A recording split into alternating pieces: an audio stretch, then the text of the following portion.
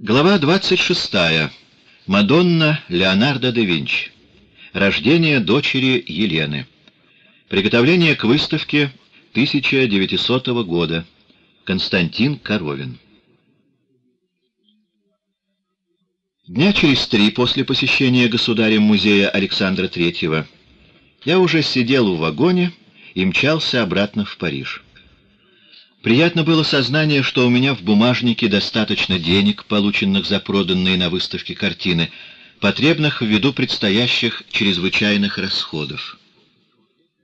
В каталоге выставки русских и финляндских художников Санкт-Петербург 1898 помимо трех работ, принадлежавших Тенишевой, Сомову и Дягилеву, свободными значились 15 работ Бенуа, 1896-97 годов.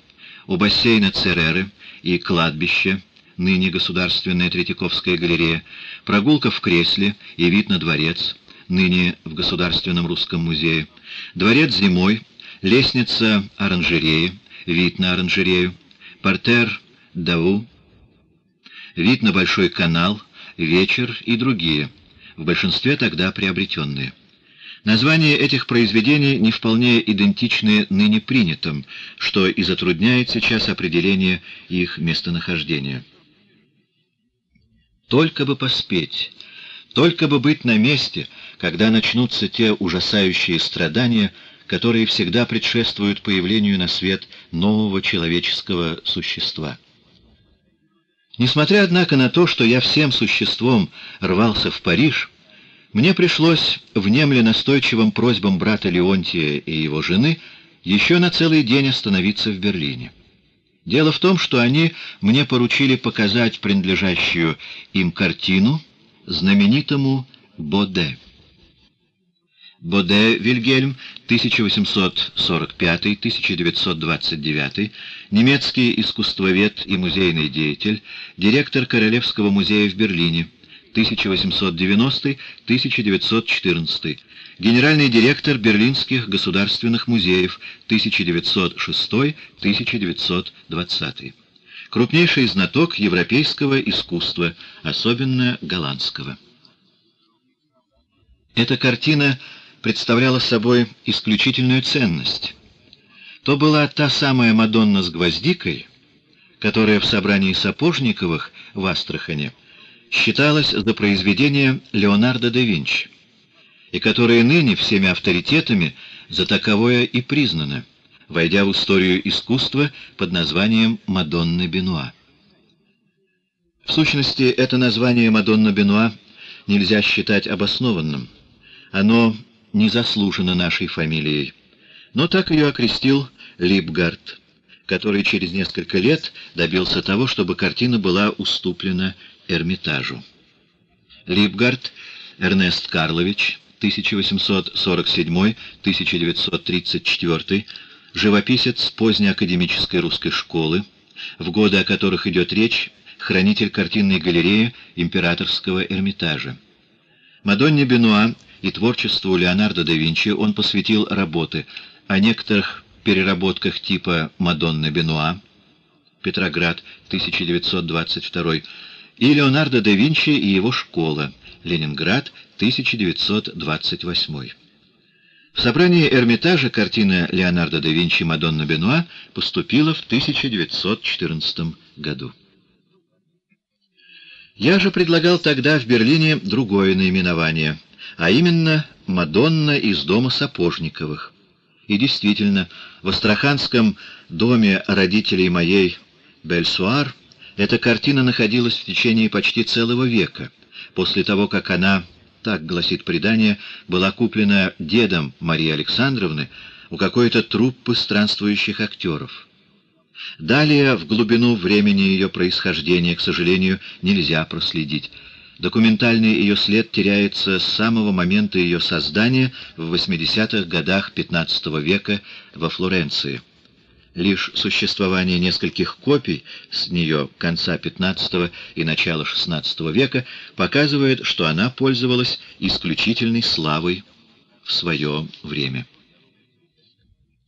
Это была одна из двух ранних Мадонн, начатых Леонардо в 1478 году. Я лично тогда не совсем верил в авторство знаменитейшего художника. Но этого признания мне нечего сейчас особенно стыдиться, раз такой же скепсис я встретил в лице всех тех немецких и французских светил, которым я эту картину показал. Имея перед собой всего один день, я должен был так распорядиться временем, чтобы за эти несколько часов повидать всех тех, мнение которых было интересно узнать. Переночевав в отеле, я и отправился с самого утра в хорошо мне знакомый старый музей, к самому Боде, но его я там не застал.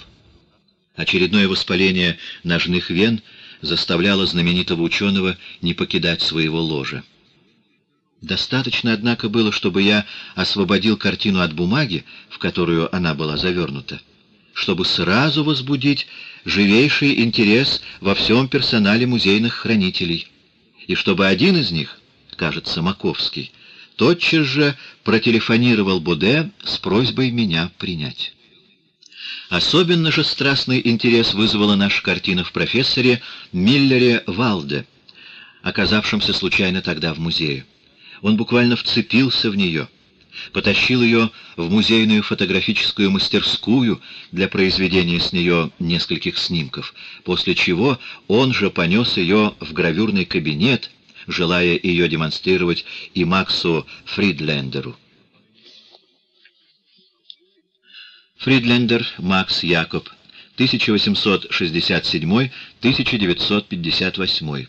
Немецкий историк искусства, директор картинной галереи Государственных музеев Берлина, 1904-1924.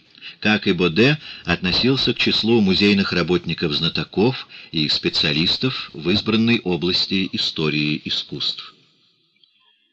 Когда же подошел час, назначенный мне Боде в его особняке, я отправился к нему, не сомневаясь, что он разрешит все сомнения.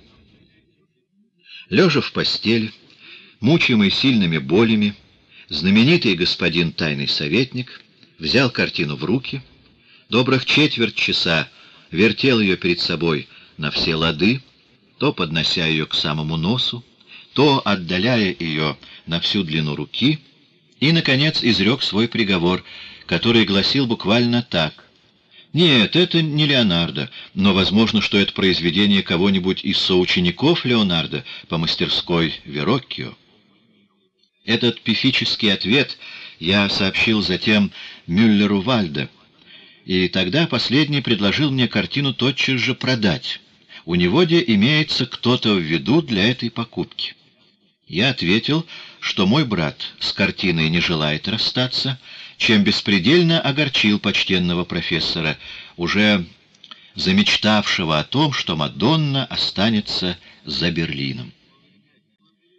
Приведу тут же два других мнения о Мадонне Бенуа парижских ученых — Лафнестра и Эжена Мюнца.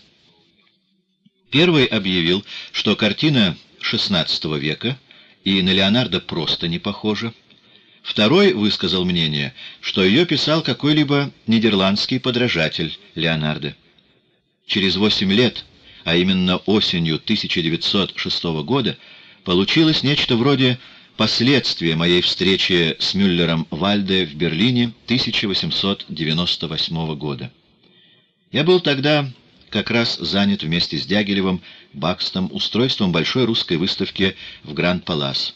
И вокруг шла неистовая стукотня обойщиков и плотников, когда мне подали карточку, на которой стояла профессор доктор Миллер Вальде. И не успел я согласиться его принять, как на меня налетела его собственная персона с криком «Теперь я твердо убежден, ваша Мадонна Леонардо!» Тут же, не присев, не давая мне опомниться, красный от волнения, он стал вытаскивать из огромного, туго набитого портфеля кипу фотографий тех несомненных рисунков Леонардо, которые являлись в его глазах и на самом деле подтверждением его уверенности в авторстве великого мастера. Некоторые из подготовительных рисунков пером к Мадонне Бенуа находятся в Британском музее в Лондоне. Так, ничего положительного и не добившись, я повез Леонардо в Париж, где это бесценное произведение и пребывало затем целый год, частью у меня, в моей более чем скромной квартирке на Рю де Ламбр, частью у старичка-реставратора де Низрада, которого мне горячо рекомендовал Камил Бенуа, кстати сказать, тоже с авторством Леонардо не соглашавшийся. Реставрация ограничилась снятием старого пожелтевшего лака и некоторых грубоватых записей. Вообще же картина была в отличной сохранности после того, что еще в 1820-х годах она была переведена с дерева на холст искусным русским реставратором Митрохиным. Митрохин Андрей Филиппович, 1766-1845, был назначен на должность технического реставратора картинной галереи Эрмитажа в 1801 году и проработал здесь более 40 лет. В 1843 году он обобщил свой опыт в правилах о переложении живописи с дерева на холст. Разлука, продолжавшаяся более двух месяцев, была для нас, супругов, по-прежнему влюбленных друг в друга и ощущавших потребность в постоянном общении, в высшей степени мучительной. Правда, мы обменивались письмами ежедневно, а иной раз и по два раза в день, однако это не могло заменить нам личную близость, и поэтому легко себе представить тот восторг, который я испытал, когда я получил Атю в свои объятия. Это произошло едва за нами захлопнулась дверка фиакра, повезшего нас с северного вокзала на Рю-де-Ламбр. Но как это было неосторожно с ее стороны, в ее положении, явиться меня встречать, не взяв никого себе в сопровождающее. Она рисковала быть затолканной и даже ушибленной в толпе. Однако все обошлось благополучно. Дома меня ожидал чудесный обед, весь состоявший из моих любимых блюд, и не успел я занять свое место за столом, как уже ко мне на колени вскарабкалась сиявшая счастьем маленькая Атя с огромной, подаренной тенишевой куклой на руках. Уж очень ей хотелось рассказать мне все, что произошло в мое отсутствие, и особенно про справленную без меня елку. Уже на следующий день пришлось серьезно и спешно заняться приготовлениями к ожидавшемуся событию. Наш домашний доктор Бойлер, в которого мы верили абсолютно, считал, что оно должно произойти самое позднее через 10 дней, а потому необходимо было первым долгом заручиться акушеркой, которую Бойлер сам рекомендовал, так же, как и опытную полного доверия заслуживающую сиделку.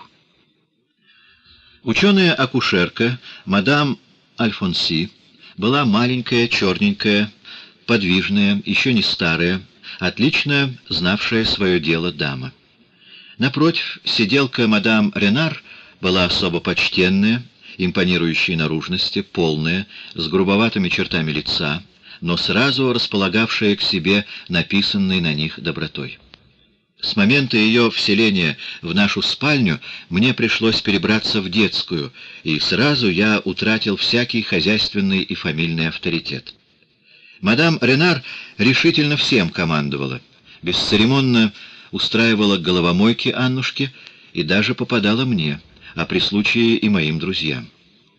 Что ж касается меня, то мадам Ренар считала, что я недостаточно галантен в отношении моей жены — и эту погрешность она усматривала в том, что я никогда не подношу ей, жене, цветов, конфет, какую-нибудь драгоценность.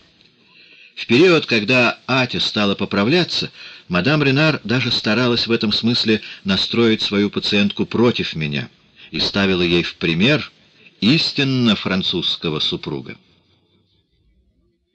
Вообще же роды прошли не только в иной обстановке, нежели первые, но и по совершенно иной системе. Начать с того, что при родах присутствовали не только бабка, но и врач. А затем был выработан весь распорядок жизни как роженицы, так и младенца, вперед на целый месяц. И все это время мадам Ренар строго следила за тем, чтобы предписания доктора и мадам Альфонси соблюдались с абсолютной точностью. Самое мучительное для моей столь подвижной жены было принуждение 21 день.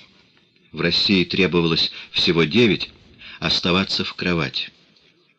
Что же касается до ухода за младенцем, то тут получился еще больший контраст с российской системой. Там новорожденного туго пеленали и зашпиливали, причем, однако, после всякого орошения пеленок мумия снова разбинтовывалась, и пеленки, требовавшиеся в несметном количестве, менялись. Няньки все дни проводили в стирке и в глажении. Напротив, французская система оставляла за членами известную свободу движения. Пеленки зашпиливались так, что ребенок мог шевелить и ручками, и ножками. Что же касается досмены белья, то она производилась всего четыре раза в день и непременно в установленные сроки. В промежутках же производимая младенцем нечистота оставалась совершенно закупоренной, создавая своего рода компресс. Сначала такая сознательная нечистоплотность показалась нам просто варварской, и моя жена беспокоилась, как бы не сделалась от того сыпи, но опыт доказал целесообразность французской системы, которая и применялась в течение первого полугода неукоснительно и с наилучшими результатами. Труднее было убедить такую страстную мать, как моя Анна Карловна, в необходимости регулировать кормление младенца и во всяком случае избегать перекормления. Но настойчивость мадам Ренар и тут одержала победу. Родившееся крошечное существо получало свою порцию материнского молока только через каждые два часа, и в промежутках никакие вопли и крики не действовали. «Пусть кричит, это ей только на пользу», — говорила неумолимая мадам Ренар. И что же, уже через двое суток малютка привыкла к режиму и получала свое питание лишь в условленные моменты. Это было полезно и ей, и особенно матери. Ничего подобного того состояния какой-то материнской экзальтации, в которое впадала Атя в течение первых трех-четырех, вернее, пяти месяцев после первых родов, здесь не повторилось. И, разумеется, это оказало благодетельное влияние и на физическое, и на нравственное ее состояние. Уже через два месяца исчезли и последние следы перенесенной беременности и всех терзаний. Ночью моя жена вдоволь высыпалась, и это отзывалось на ее аппетите и на общем самочувствии. Мне также были возвращены мои права, и кризис заброшенного супруга, пережитый мной в 1895 году, на сей раз не повторился. Новорожденный член семьи оказался женского пола. Но это меня только обрадовало, тогда как моей жене было вообще безразлично, кого Бог ей послал и с кем ей нянчиться, на кого излить всю свою стихийную любовь. Но вот я должен сознаться, что, мечтая о девочке, я в то же время желал, чтобы она была олицетворенной красотой. На самом же деле на свет появилось нечто, что меня даже встревожило. Все было нормально, и даже сразу заблиставшие звездочки глазки были прелестны, но подгулял носик. Младенец оказался совершенно и даже безобразно курносом. Хуже того, этот носик пуговкой был вдавлен, и над ним лежала довольно толстая мясистая складка. Я не был в состоянии скрыть свою тревогу и досаду, однако и Бойлер, и госпожа Альфонси только смеялись над моим смущением, утверждая, что это пройдет само собой. В сердце у меня происходила своего рода борьба между обостренной жалостью, любовью и обидой на то, что какая-то коварная фея устроила нам подобную каверзу. Лишь по прошествии года предсказания врача и акушерки оправдались, и личико нашей девочки стало получать нормальный и приятный вид. Прекрасная Еленой в полном смысле этих слов она, правда, так и не сделалась, но, подобно матери, и наша Леля с годами стала лучше, чем красивая, и лучше, чем прекрасная. Наша дочка сама стала называть себя Лелей, а не Лелей. Особенный шарм всей ее наружности, в полной гармонии с ее весьма своеобразным нравом, с весьма острым умом и со всей ее даровитостью, доставил ей немало побед над сердцами. Этот нрав Елены стал обозначаться необычайно рано. Еще в бытность у нас госпожи Ренар, следовательно, в такое время, когда человеческому существу полагается быть чем-то совершенно безличным, губки нашей малютки стали складываться в нечто вроде улыбки, а лучистые ее глазки глядели так внимательно, точно у нее уже просыпалось известное сознание. Через три месяца Леля стала без посторонней помощи садиться в своей кроватке, через пять подниматься на руках и вставать в ней на ножки. Шести месяцев она из нее выпала, а девяти, о чудо, она стала ходить. Очень скоро, когда мы летом жили в Нормандии, она во всем околотке прослыла за свою веселость. Маленькая Елена всегда весела, всегда довольна, умилялись деревенские кумушки. Удержать ее на руках при виде матери или меня требовало настоящих усилий. До того энергично начинала она прыгать и плясать на руках, причем я должен сказать, что курносненькая ее мордочка придавала этим излияниям особенную прелесть. Еленой она была названа в память одной из моих теток, но еще более в честь ее кузины Елены Матвеевны Эдвардс, дочери моей старшей сестры, тогда как раз приехавшей со своим мужем господином Шмерингом в Париж, совершая свое свадебное путешествие. В самое утро существования нашей Лели Елены я по закону должен был сделать декларацию в мэрии при двух свидетелях.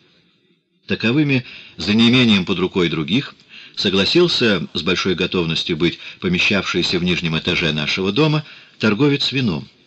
И случайно там же у прилавка оказавшийся клиент, кажется, каменщик. Эти добрые люди сочли возложенную на них обязанность за честь, и хозяин погребка, после нашего возвращения из мэрии, отказавшись от того денежного вознаграждения, которое я имел бестактность совать ему в руку, предложил распить втроем бутылку красного закупоренного вина, что было произведено на общее удовольствие и на здоровье роженицы. Все это, и наша прогулка втроем в ясное весеннее утро 1 апреля в Мерию, и это скромное, но очень сердечно предложенное угощение оставили во мне чрезвычайно приятные воспоминания. Постепенно наша семейная и хозяйственная жизнь вернулась к норме. С той только разницей, что я теперь окончательно устроил свою рабочую комнату в той, которая сначала служила исключительно детской. Там же я проболел довольно мучительной формой ангины, ежегодно, в те времена меня посещавшей. Мадам Ренар, тогда еще не покидавшая нас, ходила за мной, причем обращалась со мной еще строже, нежели с моей выздоравливающей женой. В той же комнате я с возобновленным увлечением принялся снова за живопись. У меня были затеяны две довольно сложные композиции. В одной, под впечатлением одной гравюры XVII века, я задумал представить сад со стриженными в виде всяких фигур деревьями. Большая золоченая гондола — подплывала к острову на пруде, полной развеселой компании молодых щеголей и щеголих. Эта картина была начата мной акварелью и гуашью, но собирался ее окончить пастельными карандашами. В другой, еще более крупной картине я изобразил пастелью один из тех придворных маскарадов, описание которых я вычитал в дневнике маркиза Данжо, или в письмах «Мадам». Пастель «Маскарад» при Людовике XIV 1898 хранится ныне в Государственном русском музее. Данжо Филипп 1638-1720, придворный Людовика XIV и мемуарист, оставил дневник, изданный позднее в 19 томах, в котором отражена жизнь французского двора с 1684 по 1720 годы. Мадам — титул супруги брата короля, очевидно, второй супруги герцога Орлеанского, Елизаветы Шарлотты Баварской, 1662-1722, известный под именем Палатин принцессы, фигурирующий в воспоминаниях Сен-Симона. Она оставила многочисленные письма, повествующие о бытии и нравах двора Людовика XIV. Извлечения из писем издавались и в качестве мемуаров. Но только я не собирался представить какой-либо определенный случай, происходивший в известный момент. А мне хотелось изобразить нечто вообще очень праздничное и блестящее, но в чем сквозило бы и нечто меланхоличное, похоронное, что так характерно для эпохи заката короля солнца.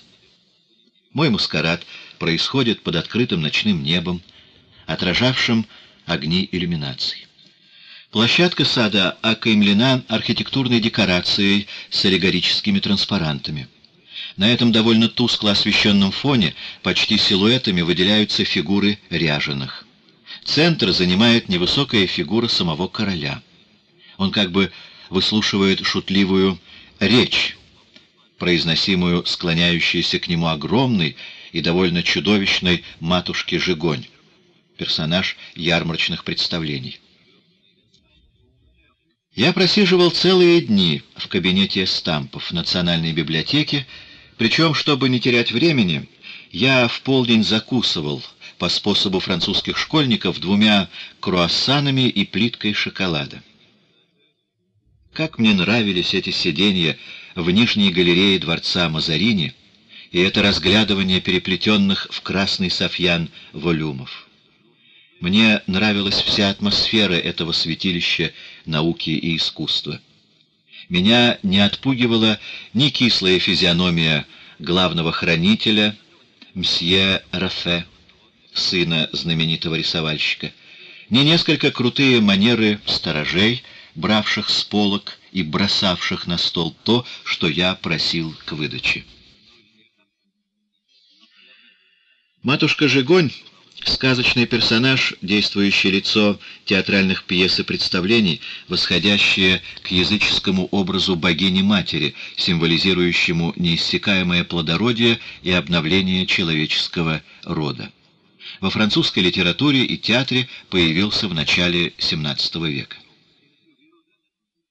Август Раффе, 1804-1860, французский гравер, литограф, афортист, ксилограф, рисовальщик, живописец батальных сцен. Впрочем, после того, что я несколько раз им сунул по два франка в руку, они заметно смягчились, а со временем даже стали ласковыми. Совсем милым с самого начала был один из помощников Рафе, грустный, вероятно, больной чехоткой, молодой человек с длинным, окаймленным жиденькой бородкой лицом, фамилию которого я позабыл, но который своими советами мне немало помог в моих поисках документов. Теперь у меня было достаточно денег, чтобы предпринимать частые экскурсии в Версаль, а это давало мне возможность все глубже окунаться в требуемую атмосферу. Повторилось, но в еще большей степени, то, что я уже испытал в России в острый период своего увлечения царским селом и Петергофом. И на сей раз я доходил подчас до чего-то близкого к галлюцинации, особенно когда я, получив на то разрешение, часами бродил по парадным залам дворца или по тем комнатам северного Аттика, где была сгруппирована богатейшая коллекция портретов разных эпох. В комнатах невысокого третьего аттикового этажа северной части Версальского дворца размещалась портретная коллекция.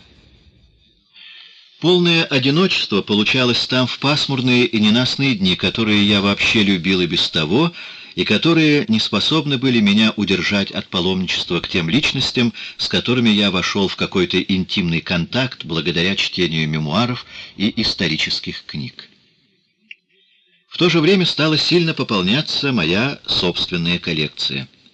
Между прочим, я поставил себе за правило каждую неделю посещать халкографию Лувра, и каждый раз я с чувством охотника, овладевавшего какой-либо ценной дичью, уносил оттуда по гравюре, по две, по три, изображающие либо какие-то празднества в Версальском дворце, либо виды Парижа и его окрестностей XVIII века. Все чаще я заходил теперь в лавки Пруте и Манжена, а между мной и Костей Сомовым стал даже тогда намечаться род коллекционерского соревнования. До настоящей и болезненной конкуренции у нас все же с ним не дошло. Вообще, все это время, в течение первых недель после возвращения из Петербурга, у меня было довольно много свободного времени, так как Тенишевых не было в Париже. Позже, к весне, в мае, а именно с момента, когда прибыли к сезону обе княгини, положение сильно изменилось. Возобновились обеды, завтраки, поздние беседы в будуаре княгини и разные выезды с Тенишевыми по выставкам, театрам, концертам. Я употреблял все старания, чтобы княгиня продолжала делать свои пополнения коллекции и русских, и иностранных мастеров. Между прочим, она купила тогда у Сомова его прелестную масляную картинку в лесу, а Обер по ее заказу чудесно вылепил ее юркую собачку Грифона. И чтобы она забыла обиду, нанесенную ей отказом от принятия в музей иностранной части ее собрания. Временами мне удавалось и как бы гальванизировать ее коллекционерскую страсть. В то же время именно этот период можно считать за вершину нашей дружбы. Внимательное отношение княгини Марии Клавдиевны ко мне очень повысилось с момента моего успеха на выставке в Петербурге, а замечательный такт княгини Четвертинской скрашивал то, что было не совсем приятного в этом моем порабощении. Новый и самой увлекательной темой наших бесед был теперь затеянный Сережей наш журнал. Тенишева была тогда полна самых радужных надежд на этот счет и горела желанием лично как-то принимать участие в журнале. Ее, между прочим, занимала мысль создать обложку к нему — и она несколько часов в день проводила, запершись в комнате, служившей ей мастерской, в поисках композиции, которая выражала бы главную цель издания. Однако бедная Мария Клавдиевна так и не удостоилась чести выступить в собственном журнале. Сережа безжалостно и безапелляционно отверг этот опыт, и надо сказать, что он был совершенно прав. Зато княгине эта неудача не могла послужить поощрением к дальнейшему активному участию в том органе, который она считала своим и который ей уже начинал стоить немало денег. В эти же весенние месяцы внимание Тенишевых все более стало сосредоточиваться на участии России в международной выставке, имевшей открыться через два года. Дело в том, что князь Вячеслав Николаевич был назначен русским правительством главным комиссаром русского отдела. И это не только обязывало его изыскивать лучшие способы, каким образом представить нашу родину на суд народов, но это направляло и художественное рвение княгини в ту же сторону. К сожалению, архитектура главного русского павильона — под который был отведен правый угол сада, расположенного по склону холма Трокадеро, ныне более известного под именем Шайо, была уже в Петербурге поручена архитектору Мельцеру, который ничего особенно оригинального не придумал, а ограничился тем, что воспроизвел в сильно сокращенном виде московский Кремль. Но оставался кустарный отдел, расположенный неподалеку от этого Кремля — и тут влияние Марии Клавдиевны, скорее всего будущего мира искусств, сказалась в том, что как архитектурный ансамбль этого павильона, так и все его убранство были поручены одному из лучших художников нашего толка. В общем, кустарный павильон должен был напоминать русские деревянные постройки, но при этом не копировать что-либо уже существующее.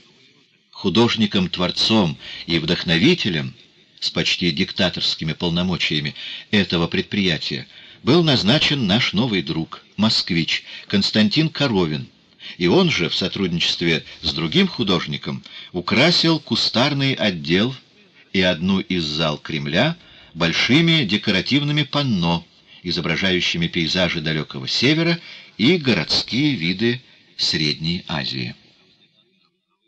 С автором Коровина по проекту деревянных зданий кустарного павильона и их декоративному оформлению был Головин. Часть их, впрочем, была уже создана для Нижегородской выставки 1896 года. Здесь, кстати, будет уместно сказать несколько слов об этой последней выставке, возбудившей большие толки в русском обществе. Двое из тех действующих лиц, которым выдались показные роли на арене русского художества, обратили на себя особенное внимание общества именно на этой Нижегородской выставке. То были Савва Мамонтов и Врубель.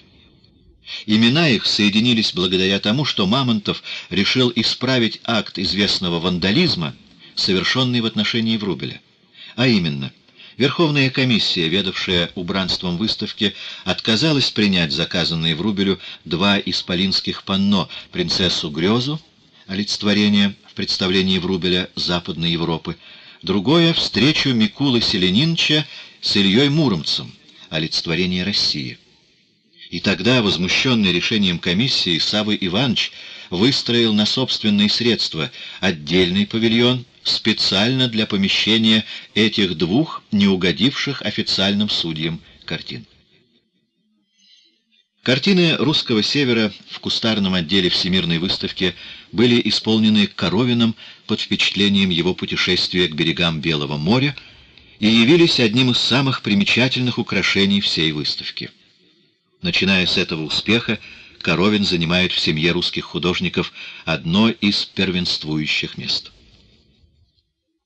В эти же годы он выступал с особым блеском в качестве театрального декоратора, создав ряд постановок для оперной антрепризы того же Саввы Мамонтова.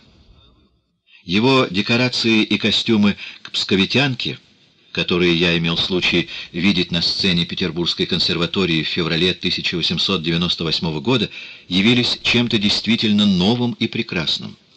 С них даже началась как бы целая новая эра в русском музыкальном театре. Тогда же Петербург впервые оценил и Шаляпина, гениально воплотившего в той же опере жуткий образ Иоанна Грозного. В тот же мой приезд в Петербург в 1898 году я побывал, и даже несколько раз, на новом балете Глазунова Раймонда. Постановка была из самых банальных, но сочность и разнообразие партитуры очаровывала и заставляла забывать как эту банальность, так и нелепость сюжета. Станцована же была Раймонда с Преображенской в главной роли превосходно. В эти весенние месяцы 1898 года Коровин лично появился в Париж и сразу сделался одним из ежедневных завсегдатаев Тенишевых. Его очень полюбил князь, главным образом потому, что нашел в нем достойного, знавшего толка в вине гостя. Но близко сошелся тогда и я с Коровиным, несмотря на то, что он был старше меня и что наши характеры не очень сходились. Вскоре я перешел с ним на «ты», тогда как в это же время и еще через год я не тыкался с Серовым. И каким чаровником оказался этот мой второй кость. Какой это был красавец! Как очаровательно играли его бархатные, всегда немножко смеющиеся цыганские глаза. И какой это был чудесный, несравненный рассказчик!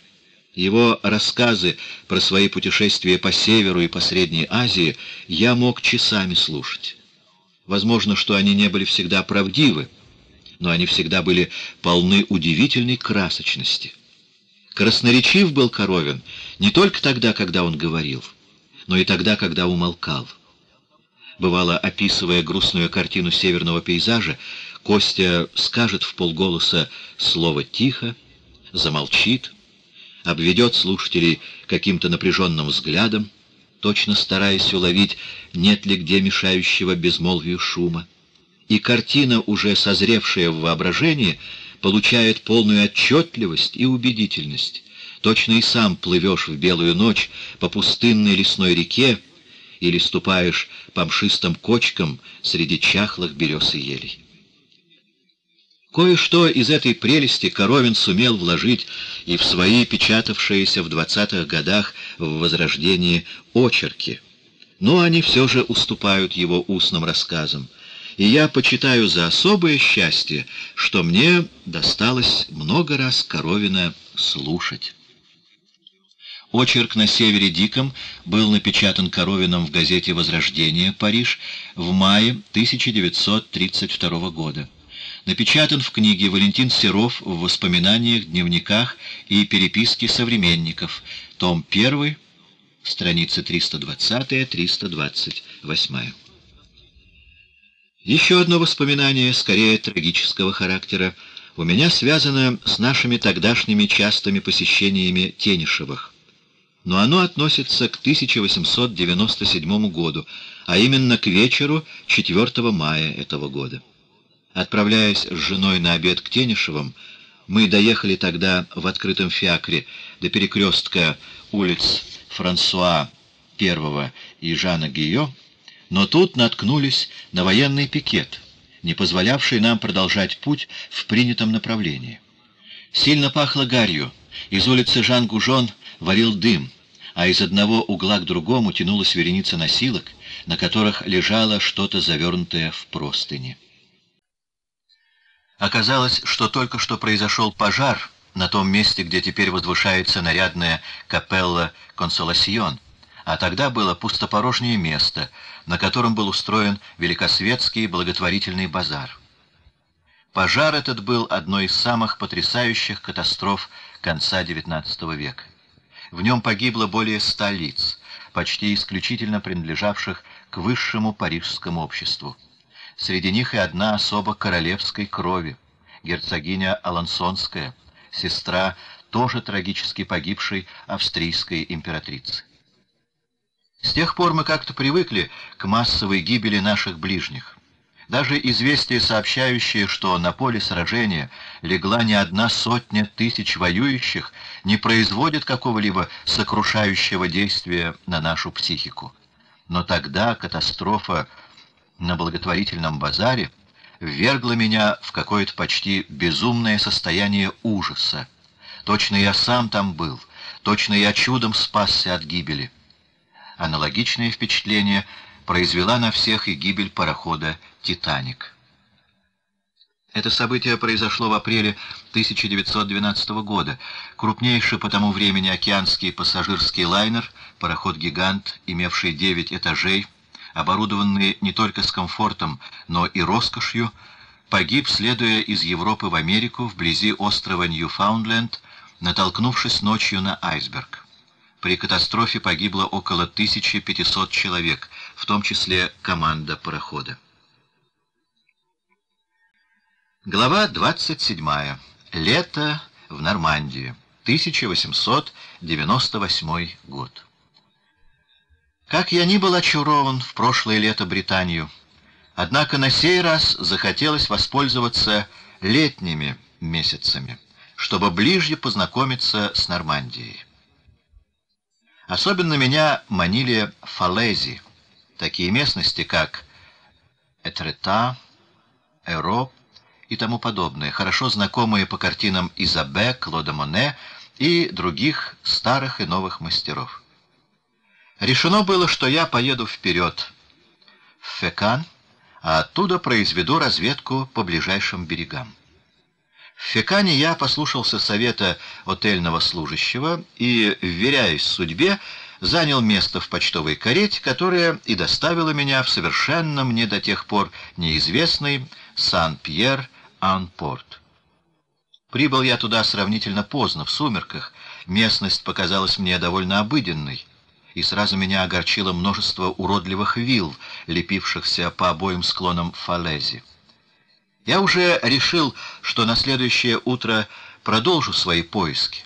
Однако, когда я рано утром открыл ставни и вышел на балкон, я так был поражен видом на безбрежный простор зелено-голубого моря и на сиявшей белизной фалези, мне так захотелось, не тратя времени зря, приняться за работу, что я сразу послал телеграмму жене с наказом прибыть сюда, в этот же Сан-Пьер.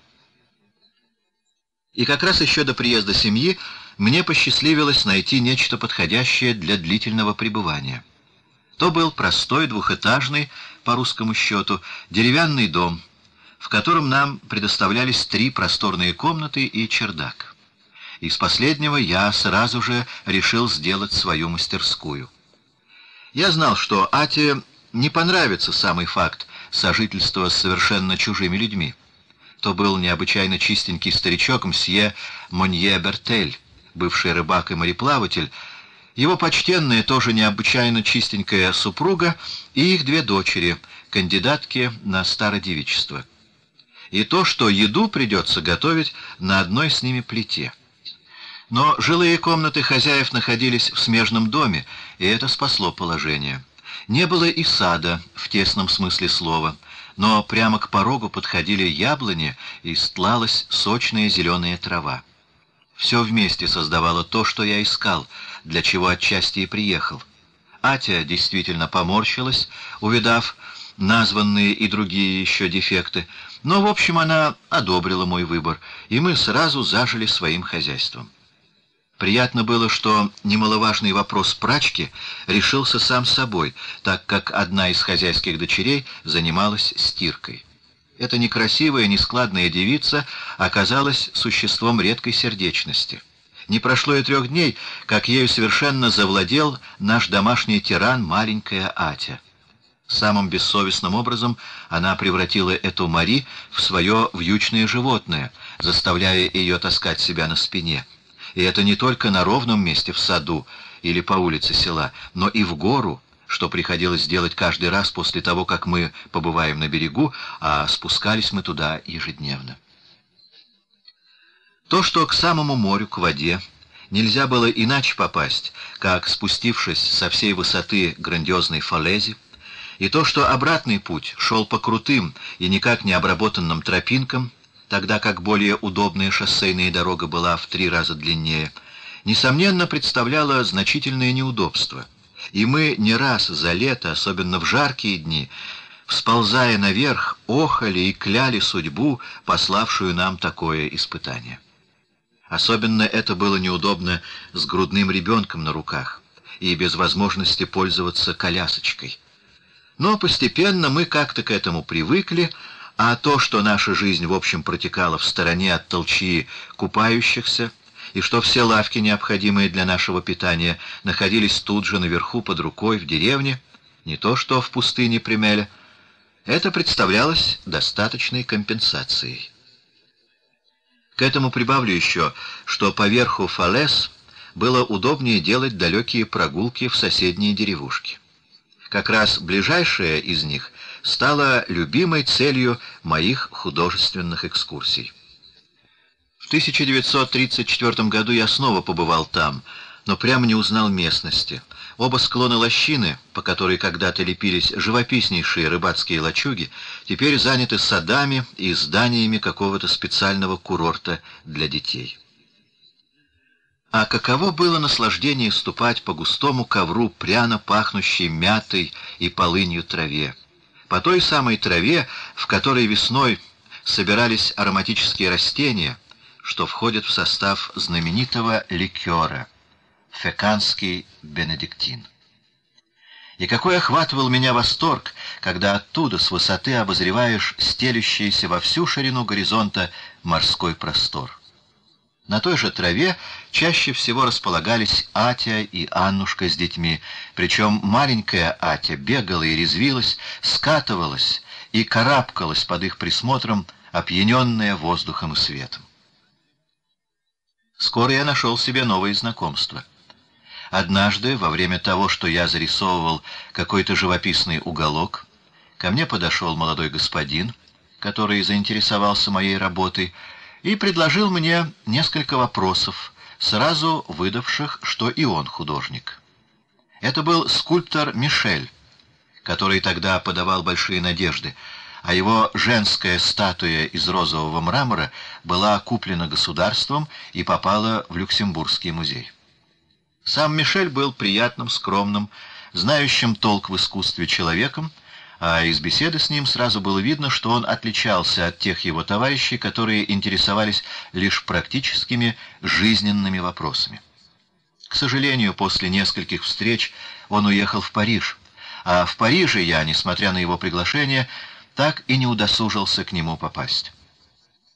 Перед отъездом Мишель познакомил меня с Кюре Сен-Пьера, и вот это знакомство — если также не протянулось дольше летних месяцев, то все же оказалось гораздо более для меня значительным. Дело в том, что я вообще в тот год мечтал ближе подойти к церкви. И на это меня толкало, кроме личных переживаний, то, что я как раз находился под сильным впечатлением книг Гюйсманса, в которых этот писатель изложил свой путь спасения. Французский писатель Гюйсманс 1848-1907 прошел путь от натурализма Золя к спиритуалистическому натурализму, свободному от реальности и обращенному к миру таинственного и потустороннего. Его романы «Там внизу» или «Бездна» 1891, «В пути» 1895, «Собор» 1898, особенно роман «Наоборот» 1884, пользовались необычайной популярностью в кругах символистов, в том числе и русских. В начале 1890-х годов Гюйсманс увлекся католицизмом. Религия была провозглашена им единственным спасением от страшных проявлений жизни. С середины 1890-х годов Гюйсманс выступал и как художественный критик – поддерживая вначале импрессионизм, позднее его художественным идеалом осталась лишь сфера средневекового религиозного искусства. Первый русский перевод его романов появился в 1906 году. Отведав всевозможных бесовских соблазнов и поняв всю их тщету, Гюйсманс почувствовал действие благодати и, следуя ее зову, поборол в себе гордыню безбожия и своеволие. Постепенно из мятежника и скептика он превратился в покорного сына церкви.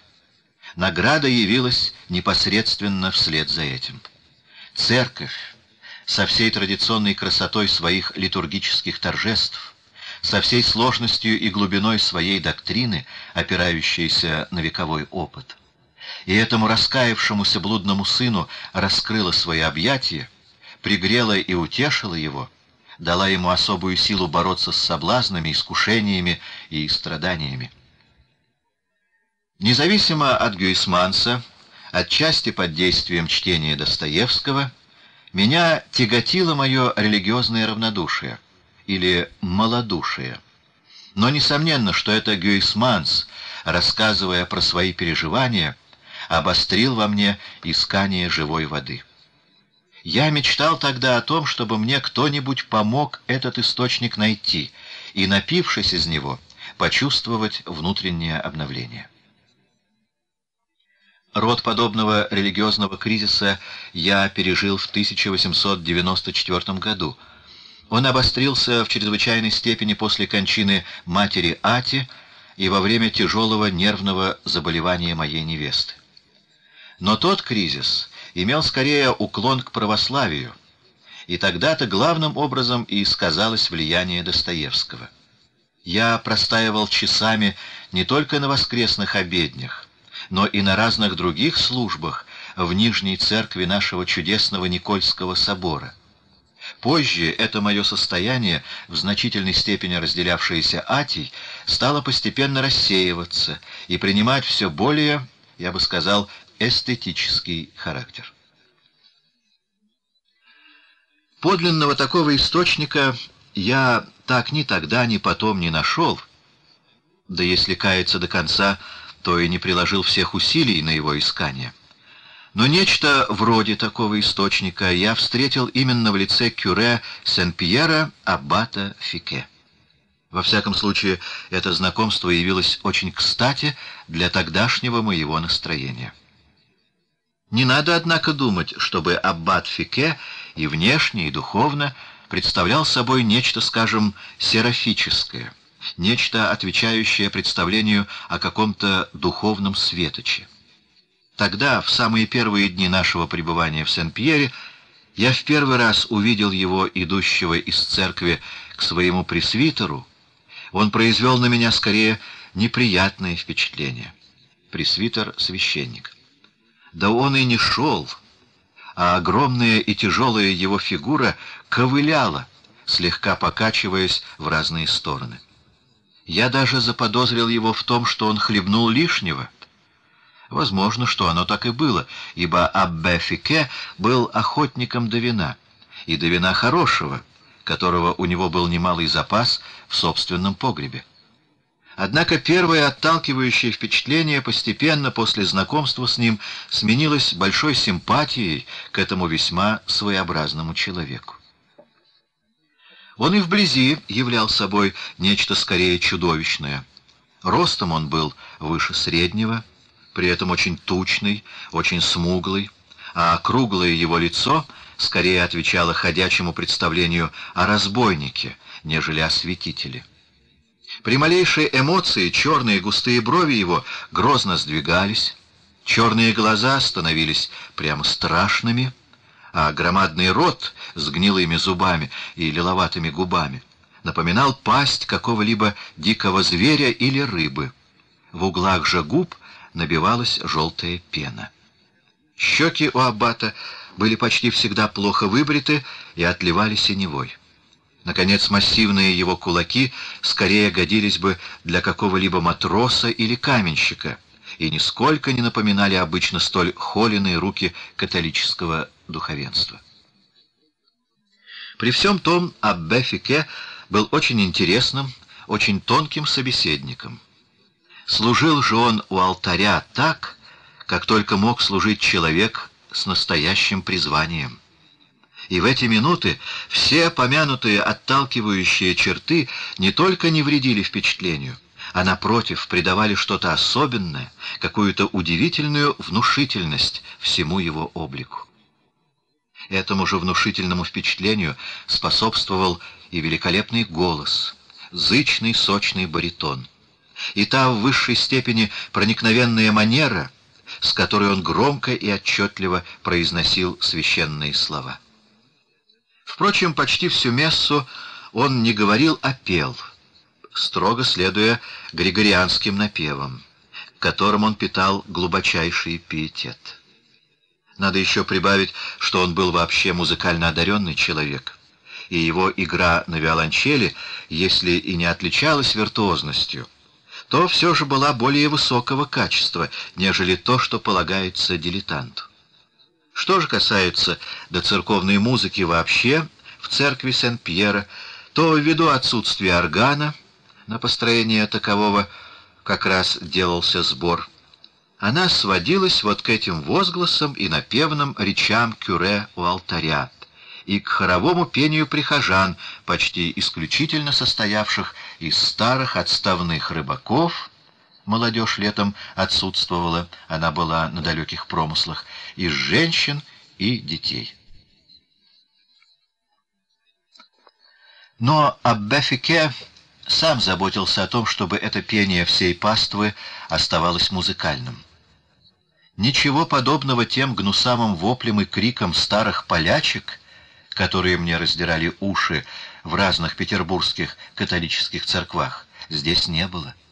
Пение было налажено, а безупречным камертоном служил голос самого Паттера, которому иногда вторил старинный церковный инструмент — рот фагота. Звук этой змеи, правда, не отличается особой тонкостью, но моментами он способен вызывать представление о каких-то небесных трубах. Уже за одно его поведение у алтаря можно было исполниться уважение к нашему кюре. Но он и лично очень выигрывал при близком знакомстве. Наше сближение произошло довольно быстро. Фике занимал в центре деревни, рядом с церковью, довольно большой дом с садом и огородом. Но все это было устроено на самый обыденный деревенский лад, без малейшей претензии. Хозяйством ведала племянница, имевшая при себе малолетнего сына. Возможно, что она и впрямь приходилась родственницей Аббату. Во всяком случае, совершенно безгрешным Аббе Фике при всем своем искреннем уважении церковных велений едва ли был. Да он и не прикидывался святошей, а то, что женский шарм на него действовал, в этом не оставалось для меня сомнений, когда, обедая у нас, он, видимо, таял в обществе моей жены. Кстати сказать, эти наши беседы, происходившие в тихие теплые вечера за столом, вынесенным прямо на траву под яблонями и при свете свечей, были очаровательны, и беседа за ними затягивалась до полночи. Но, боже мой, чего только не вмещала необъятная утроба Кюре. Что только он не съедал и в особенности не выпивал. Одной из главных причин моего сближения с Аббе Фике — было то, что я в нем нашел не только хорошо осведомленного собеседника по вопросам церкви и религии, но и ревностного поклонника старины и искусства. Он хорошо знал все художественные достопримечательности как ближайших окрестностей Сен-Пьера, так и всей Нормандии. Все наши экскурсии к прелестному замку и так далее совершались согласно с указаниями аббата Фике. Но кроме того, я совершил с ним самим несколько поездок на его двухколесном шарабане, причем он сам правил своей откормленной, лоснящейся кобылой. Побывал я с ним, между прочим, в историческом замке, в запущенной капелле, которая все еще сохраняется исключительно по тонкости скульптуры гробницы прежних владельцев замка.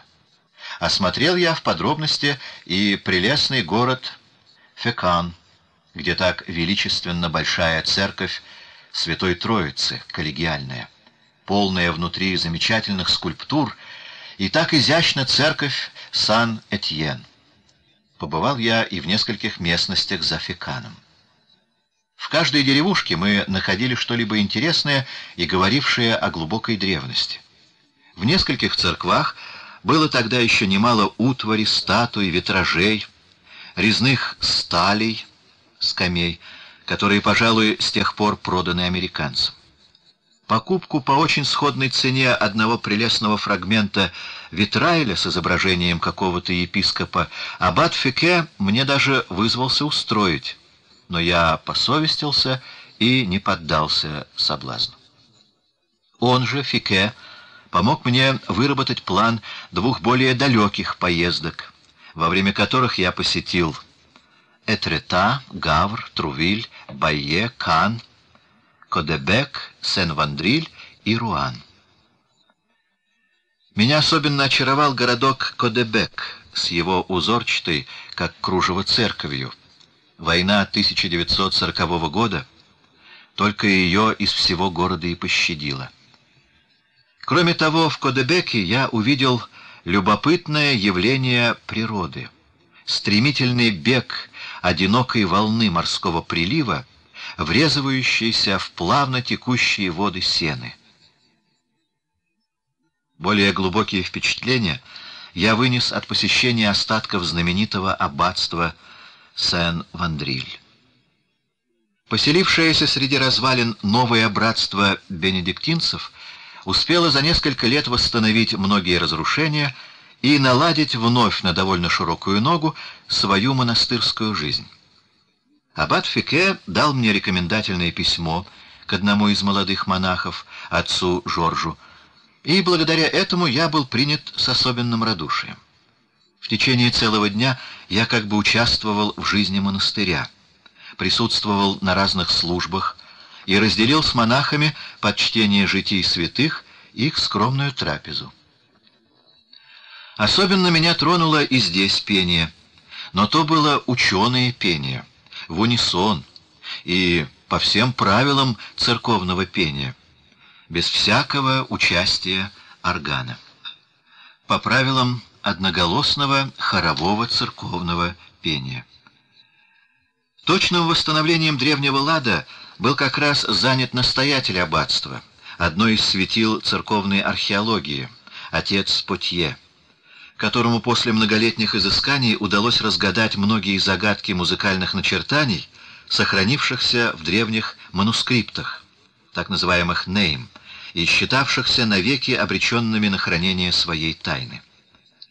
Этот почтеннейший ученый пожелал лично меня принять и показать наиболее ценные, украшенные миниатюрами пергаментные книги, которыми гордилась восстановленная его стараниями книгохранилище Сен-Вандриля. Отец Потье был низенького роста, кругленький, с подслеповатыми глазами, плешивый, но в беседе сразу открывалось, что этот очень старый человек полон энергии и духовного рвения. Эта его энергия позволяла тогда надеяться, что благодаря его управлению знаменитому аббатству будет со временем возвращена прежняя его значительность, что, пожалуй, удастся и снова выстроить, согласно первоначальным планам, прекрасный, судя по руинам, собор. Однако антирелигиозная политика Франции помешала осуществлению этих надежд. Этим воспользовался сам Метерлинг он приобрел всю усадьбу Сен-Вандриля и устроил там резиденцию себе и своей супруге-актрисе. Своими работами этого нормандского лета 1898 года я остался более доволен, нежели теми, что составили мою жатву в прошлом году. Однако и на сей раз я не создал ничего вполне выставочного — а вся моя жатва ограничивалась этюдами скромных размеров, исполненных карандашом и акварелью. Первые полтора месяца стояла скверная погода, и редкий день проходил без дождя, что принуждало меня довольствоваться скорее беглыми зарисовками с натуры, которые я затем дома раскрашивал по свежей памяти.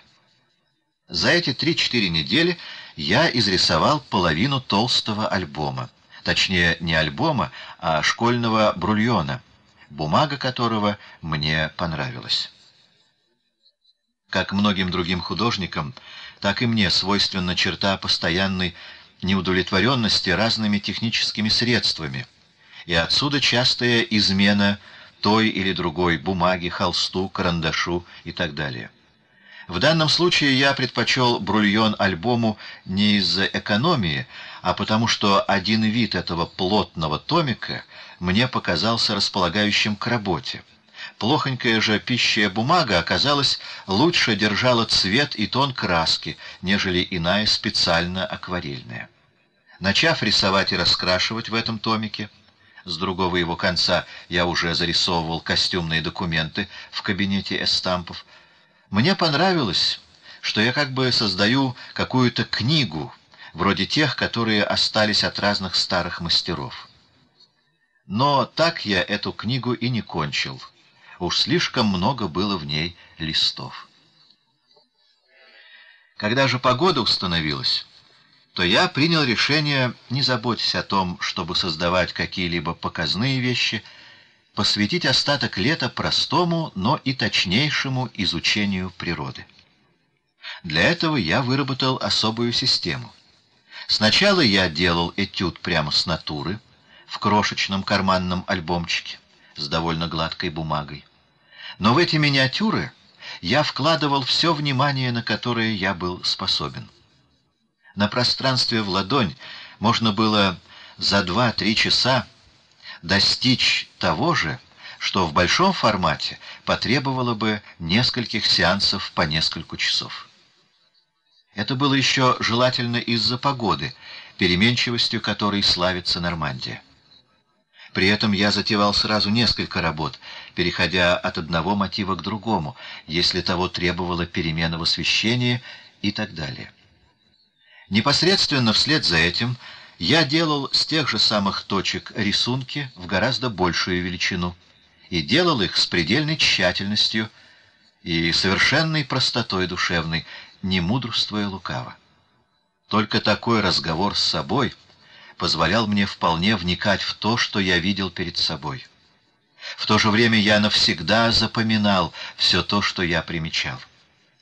В мои планы входило затем, уже в городе и при всех удобствах технического характера, создать из этих элементов некий синтез. Я не щадил себя и работал прямо с исступлением.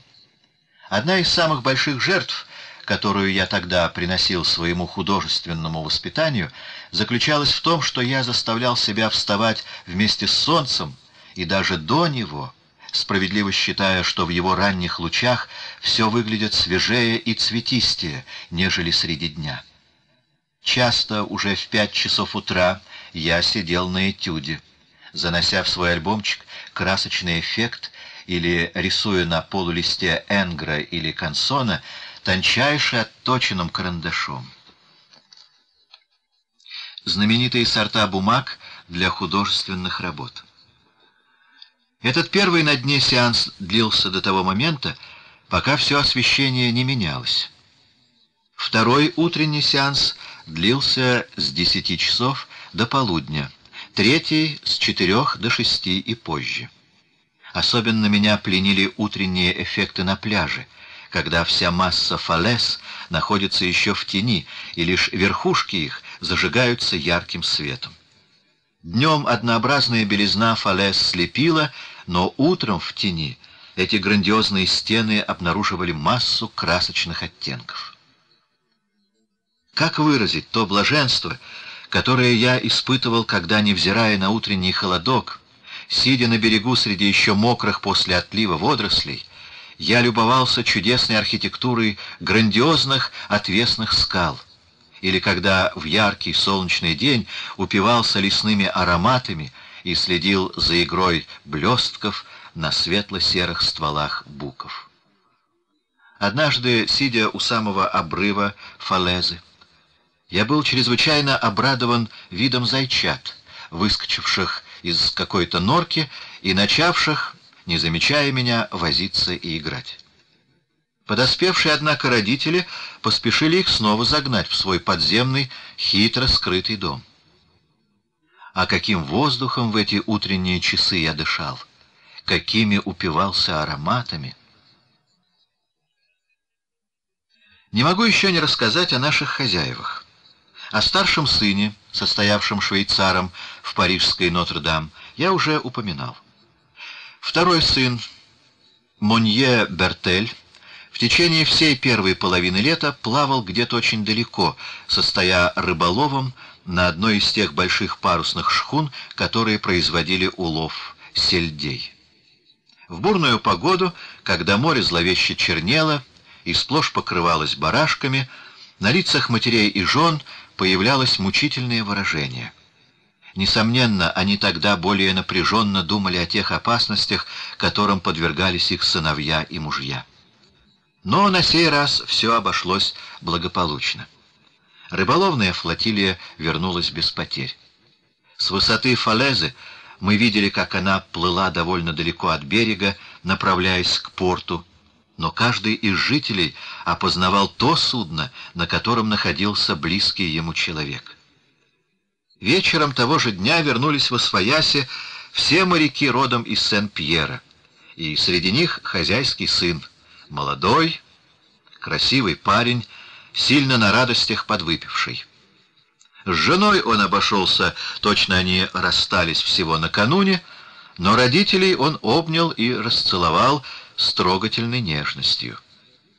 Трогательно было видеть, как оба щупленьких, сморщенных старичка ласкали этого на голову их переросшего детину.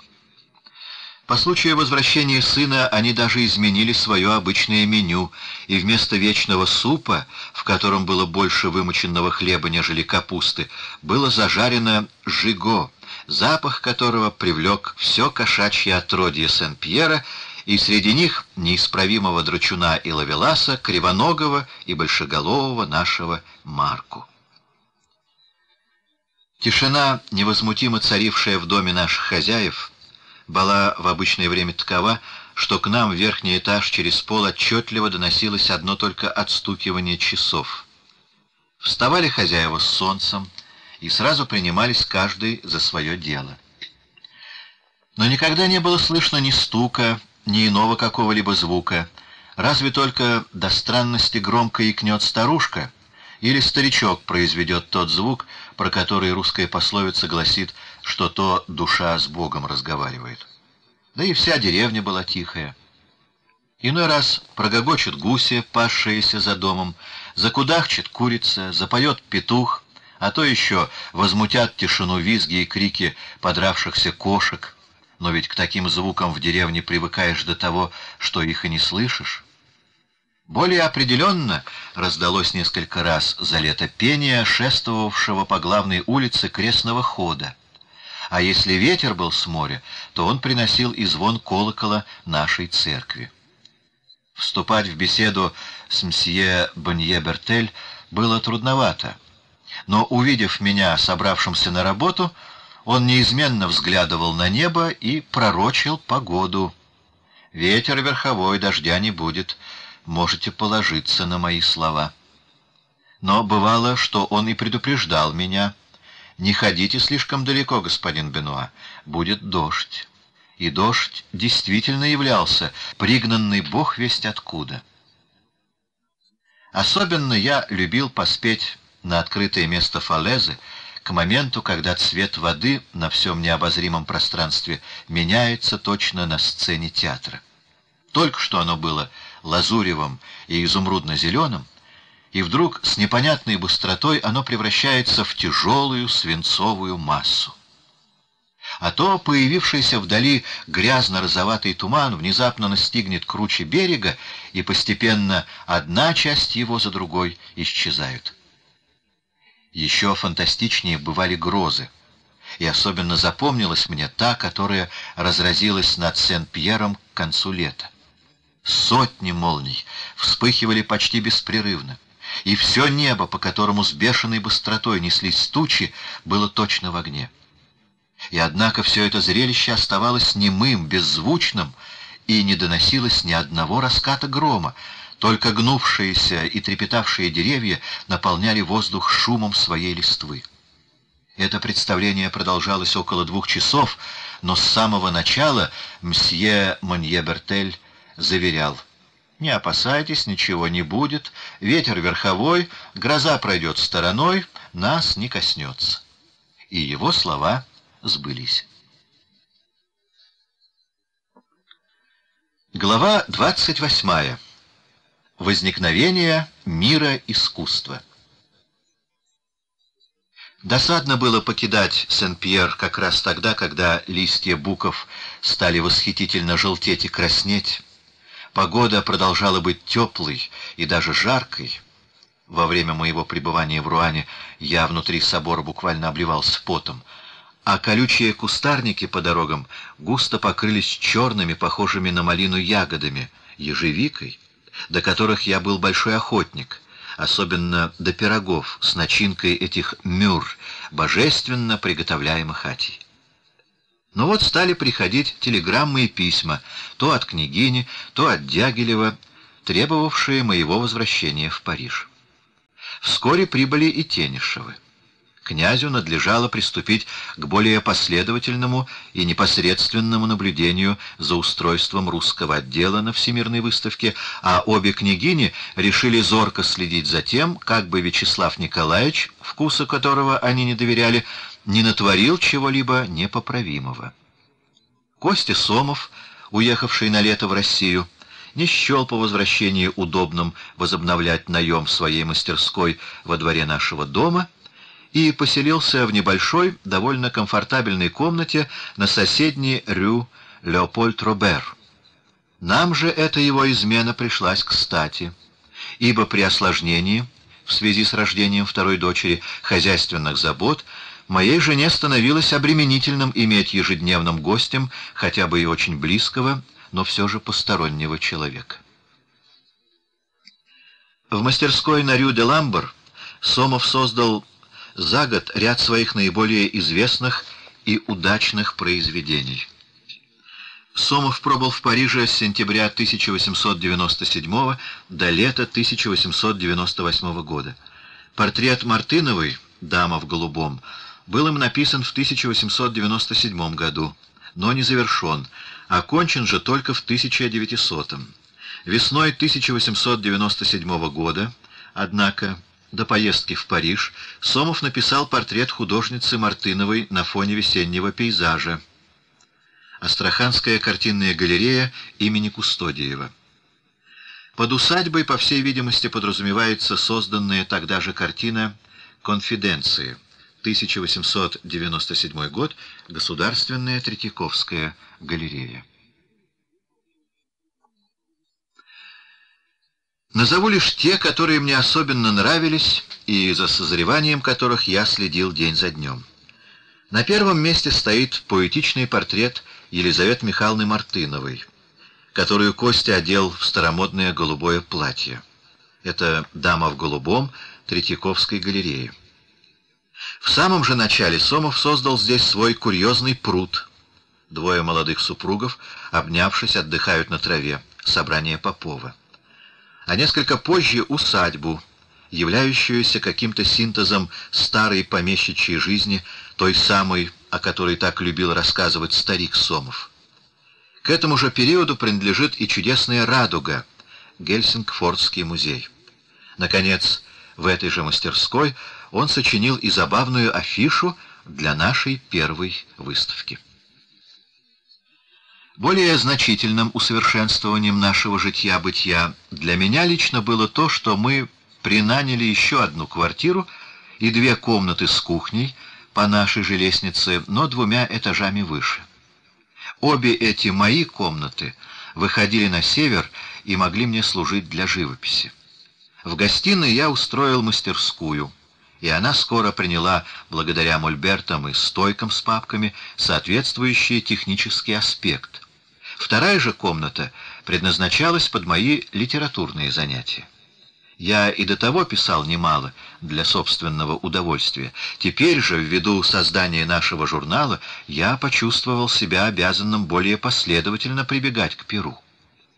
О таком моем долге постоянно напоминали в письмах и друзья, особенно Сережа. Еще весной я резюмировал в письмах княгине Четвертинской мнение о задачах и о характере нашего журнала. «Авось», — писал я 1 13 апреля 1898 года, нам удастся соединенными силами насадить хоть кое-какие более путные взгляды. Действовать нужно смело и решительно, но без малейшего компромисса.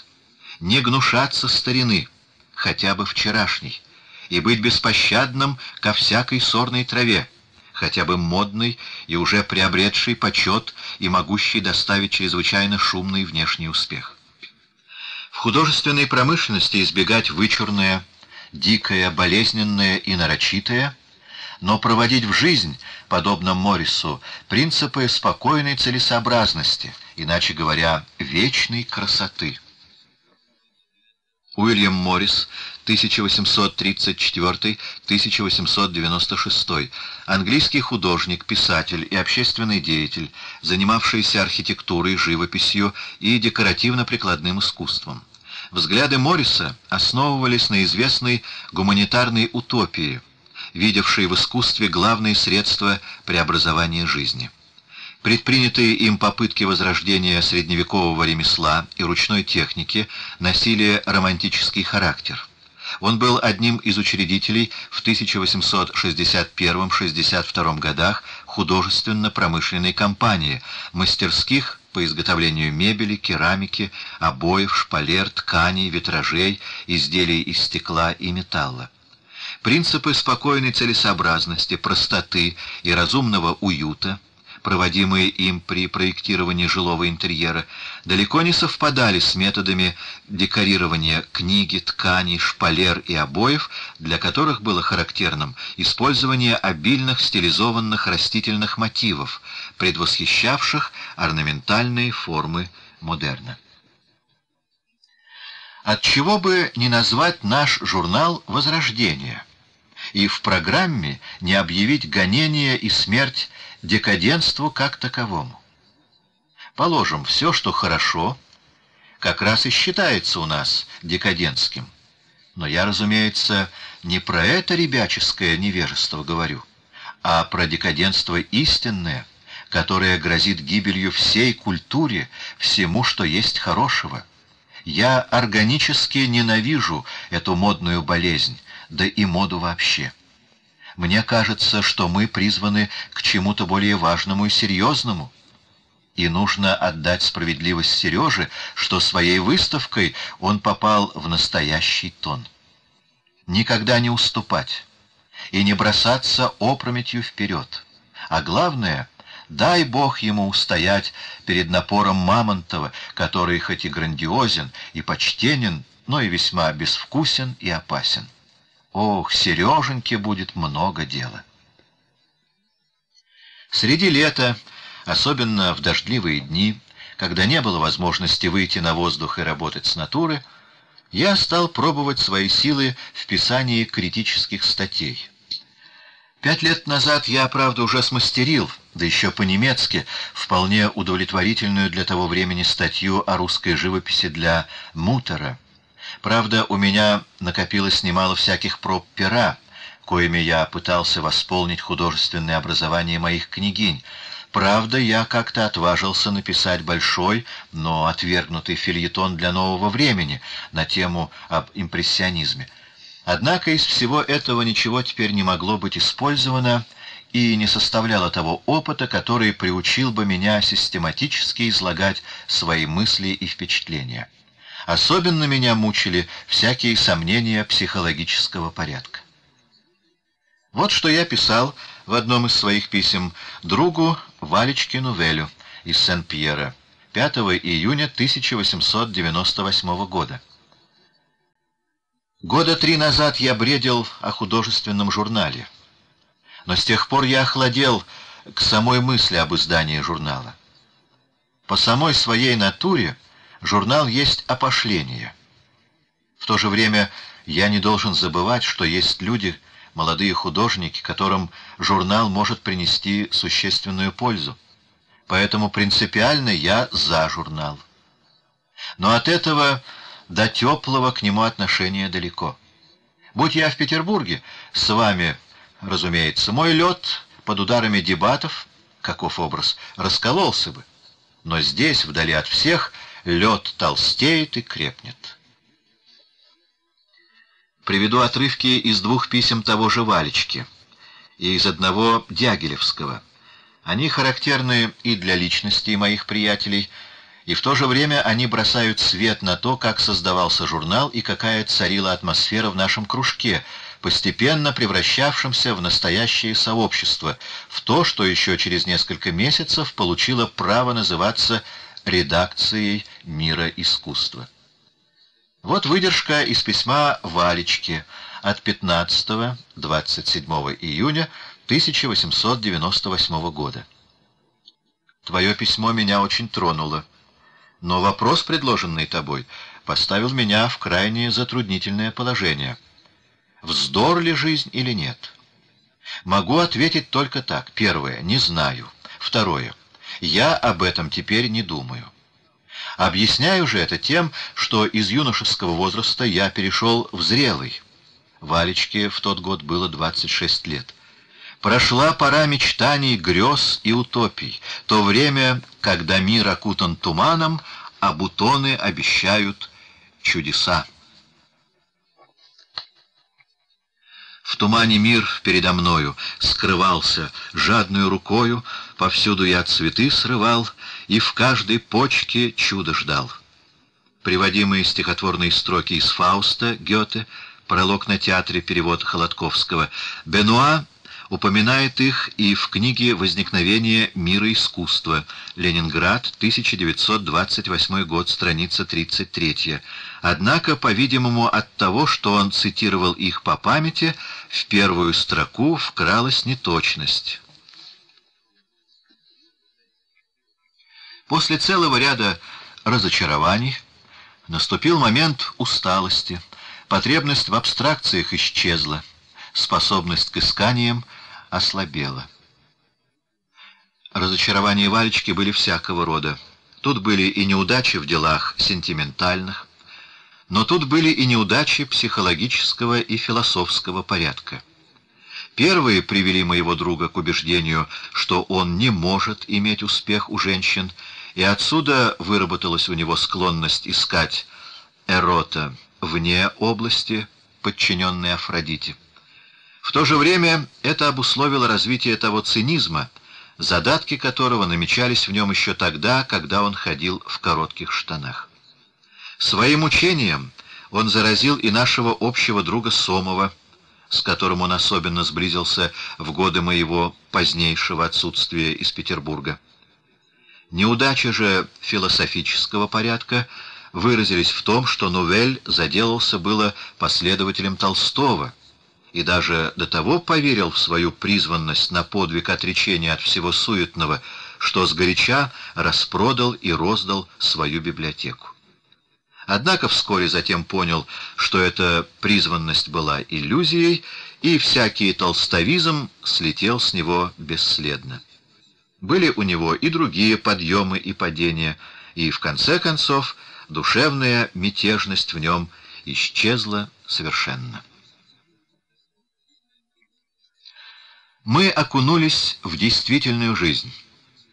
Единственное, что осталось, это желание и надежда вернуться когда-нибудь снова к высшему, в такое время, когда потребность в нем будет настолько велика, что даст нам новые силы для исканий. Все это, быть может, очень грустно, но мне кажется, это закон. Все мои вечера я теперь провожу у Сережи. Журнал нас экситирует, эмоционирует, и мы все за него принялись с жаром. Каждый день происходят горячие дебаты. Вот что меня теперь интересует.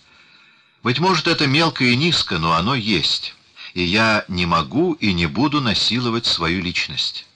К более высоким интересам я перейду только тогда, когда почувствую к тому естественную, настоятельную потребность. Второе письмо Валечке еще характернее для личности моего друга. Если Новель и не пожелал, по отсутствию известного мужества, стать каким-то официальным участником журнала, то все же он проявлял в интиме редакционных собраний весьма большой интерес к делу, а моментами он отваживался и активно вмешиваться как в общие вопросы, так даже и в составление отдельных текстов, главным образом по своей специальности по музыке. «Не знаю», — писал мне Валечка 1 июля 1898 года, — «разошлись ли мы? Но мне кажется, ты меня не понял. На вопрос, перешли ли мы в зрелый возраст или нет, я отвечаю «да, перешли». На вопрос, было ли прошедшее юношеским бредом и вздором, говорю «нет». Наконец, если меня спросят, когда было лучше, тогда или теперь, смело отвечу «тогда». Из этого ты видишь, что в прежних увлечениях я вижу что-то истинное, хорошее и прекрасное. Вот три слова, которым мы в настоящее время не можем относиться иначе, как с иронией. Но ведь истина, добро и красота были все-таки почвой, и почвой солидной, а на какой мы теперь стоим? Да стоим ли вообще? Я, по крайней мере, не могу назвать свое состояние даже словом «блуждать», ибо оно предполагает искание. Я просто игрушка удачи и неудачи. Я отношусь к своему состоянию с презрением, но принимаю его как нечто неизбежное, фатальное. А надежда на лучшие времена во мне все-таки есть. и я уверен, что когда-нибудь мы во что-нибудь уверуем. Дима и Сережа уехали в деревню, в родовое поместье философовых Богдановское, до 1 августа. И потому журнальная агитация, в смысле французского слова «суета», прекратилась. Я вполне понимаю, что живого отношения к журналу ты не имеешь. Я бы его тоже не имел, если бы у меня было свое дело. Но такого нет. Музыку я совсем бросил и, пожалуй, хорошо сделал. Новель уже состоял тогда на службе в канцелярии Министерства императорского двора, но это он своим делом не считал. Журнал же дает повод к отвлеченным спорам, которые я ужасно люблю. А так как такие споры давно уже не ведутся, то я с радостью ухватился за журнал. Но как только затрагиваются вопросы чисто практического свойства, я начинаю скучать и зевать. В этом весь Валечка. Таково уже мое назначение думать и говорить о вещах, которые никому не нужны и никакой пользы не приносят. Я уверяю тебя, мне это куда симпатичнее, чем вся наша теперешняя активная деятельность.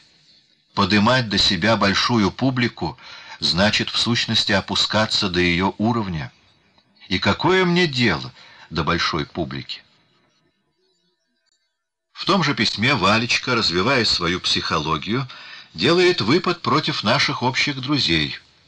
И как раз против тех двух, которые на своих плечах выносили самое трудное во всяком деле — его начальную организацию. В тенденциях Сережи и главным образом Димы я вижу желание, быть может, бессознательное, остановиться и сесть. И против этого я буду всегда и всеми силами протестовать. И, наконец, вот как Валечка все в том же письме рисует положение дел внутри редакции. Это место письма тем более интересно, что даваемая в нем характеристика осталась пригодной и для дальнейшего нашего коллективного творчества. Состав журнальной палаты следующий. Дима — правая, Бакст и я — левая, председатель Сережа, прислушивающийся к заявлениям левой, но явно опирающийся на правую. К левой принадлежали Коровин и Серов — но их теперь здесь нет. А затем Нурок, который скорее представляет одну из фракций левой, с которой мы не всегда согласны. Несмотря на то, что левая в палате обладает большинством, правая часто одерживает победу, так как за ней стоят публика и, главное, издатели Тенишева и Мамонтов. Это только способствует энергичности и ожесточенности, с которой ведутся споры. Кто победит, не знаю, но вряд ли мы, по крайней мере в ближайшем будущем. Тем не менее, оппозиция будет весьма энергичной, ибо я считаю ее необходимой. Вероятно, такие же письма профессиональный спорщик Валечка писал и Диме, и Сереже. В устных же разговорах он становился моментально и весьма неприятным, за что ему попадало от них. Но попало от Сережи Дягилева как-то и мне. Вот фрагмент такой головомойки, полученный мной в начале лета. «Когда строишь дом, — писал Сережа 2 июня, — то Бог весть, сколько каменщиков, плотников, маляров тебя окружают. Бог знает, сколько хлопот, то в строительном, то в ином каком-нибудь отношении, то кирпичи, то балки, то обои, то всякая другая мелочь. Об одном только спокоен это что фасад дома будет удачен, так как ты веришь в дружбу и талант архитектора-строителя. И вот выходит обратное. Когда ты в пыли и в поту вылез из-под лесов и бревен, оказывается, твой архитектор говорит тебе, что он дома выстроить не может, да и вообще к чему строить дома, есть ли это необходимость? И тут только понимаешь всю мерзость кирпичей и всю вонь обоев, клея, и всю бестолковость работы и прочее. Так ты подействовал на меня своим письмом. Уж если Валечку расшевелили, то пойми же, главным образом потому, что он видит, чего все это стоит, как это все делается. А ты вдруг начинаешь говорить о пользе журнала, о том, можно ли говорить о стариках, о Васнецове. Как я не могу и не сумею просить моих родителей о том, чтобы они меня любили, так я и не могу просить тебя, чтобы ты мне сочувствовал и помогал. И не только поддержкой и благословением, но прямо категорически и плодотворно помогал своим трудом. Словом, я не доказывать, не просить тебя ни о чем не могу, а трясти тебя, ей-богу, нет времени, того и гляди, сверну тебе шею. Вот и все. Надеюсь, что искренний, братственный тон моей брани на тебя подействует, и ты бросишь держать себя как чужой и посторонний, а оденешь скорее грязный фартук, как и все мы, чтобы месить эту жгучую звездку. Это письмо также характерно для Сережи того периода, как выше приведенные письма для Валечки. Оно передает в красочных образах горячечный темп работы, закипевший в кабинете Дягилева, превратившемся вдруг в редакцию. Но оно характерно и для всей его деятельности вообще, а также для отношений, существовавших между нами обоими. Как многие русские люди, Сергей Павлович соединял в себе черты известной распущенности в духе, скажем, Потемкина, с чертами, скажем, соблюдая все пропорции, Петра Великого, бывшего общим кумиром нашего кружка. К тому же, по полушутливым уверениям Сережи, он приходился Петру каким-то далеким потомком, как-то через Румянцевых, что я так и не удосужился проверить. Периоды лени и апатии сменялись в Сергее приступами чрезвычайной деятельности, и только тогда он начинал чувствовать себя в своей настоящей стихии. Тут ему уже мало было преодолевать трудности, естественно возникавшие на пути осуществления задач. Он любил себе такие трудности создавать искусственно, дабы их с удвоенным рвением преодолевать. Как раз эта черта — отпугивавшая людей спокойных, вялых, замкнутых в эгоистических заботах и просто благоразумных, нас дразнила, окрыляла и освежала. Этот первый среди нас работник служил друзьям возбуждающим примером, и мы все более и более привыкали видеть в нем своего подлинного вождя, за которым подчас мы готовы были идти всюду, куда бы он ни указал, хотя бы иной раз мы и не усматривали в том настоящего основания и необходимости. Дягилев, этот делец, этот воротила для посторонних, а для многих в те времена даже подозрительный аферист, ловко обделывающий свои делишки, для нас, близких и хорошо его изучивших, обладал великим шармом какой-то романтической бескорыстности. Он был великим мастером создавать атмосферу заразительной работы, и всякая работа под его главенством обладала прелестью известной фантастики и авантюры. Напрасно временами более благоразумные среди нас, главным образом философов и я, взывали к лучшему соблюдению его же собственных интересов и пробовали обуздать слишком уж ретивые его порывы. Стихия авантюры брала верх, мчала его дальше. Вот почему в целом жизнь этого фантастического человека получила отпечаток несколько озадачивающего безумия. То, что здесь отразилось в письме, то, что в этом письме написано с плеча и в каком-то порыве, так что одни слова наскакивают на другие, то являл Дягилев в пароксизме своей деятельности.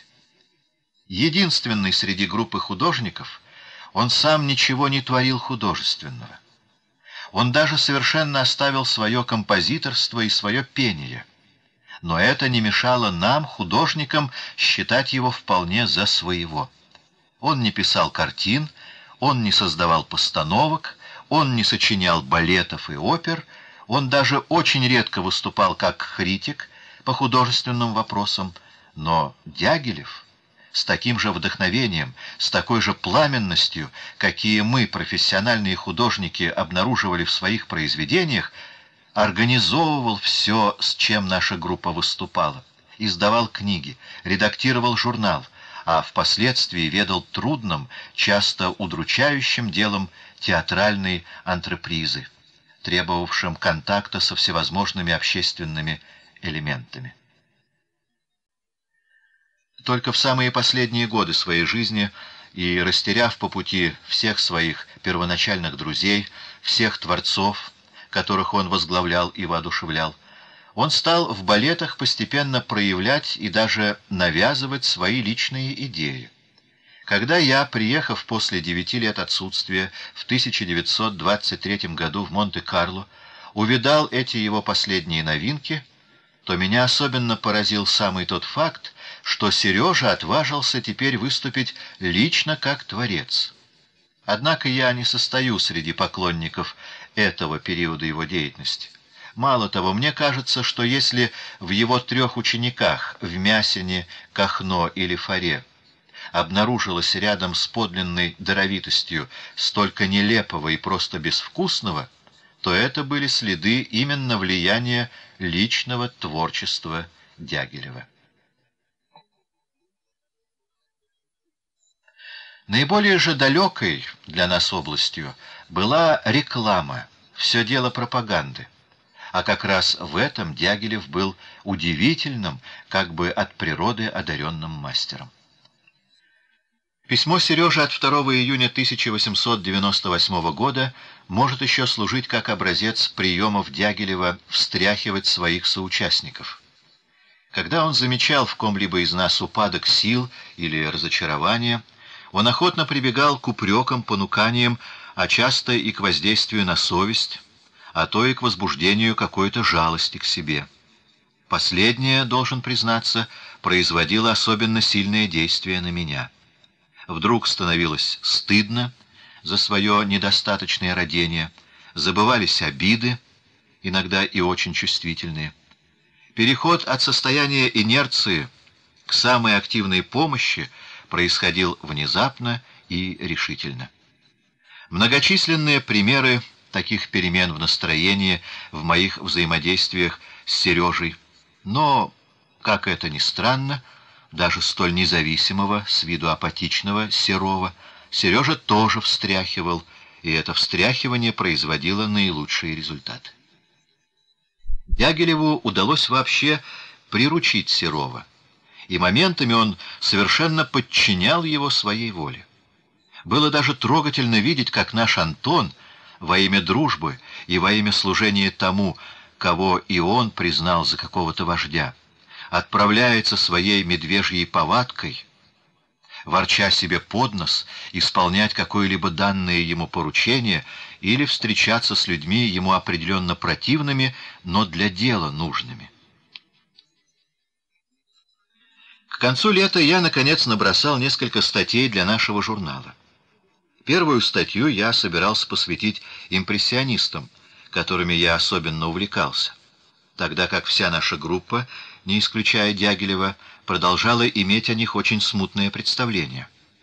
Но уже во второй статье моя склонность к искусству прошлого и моя педагогическая жилка взяли верх.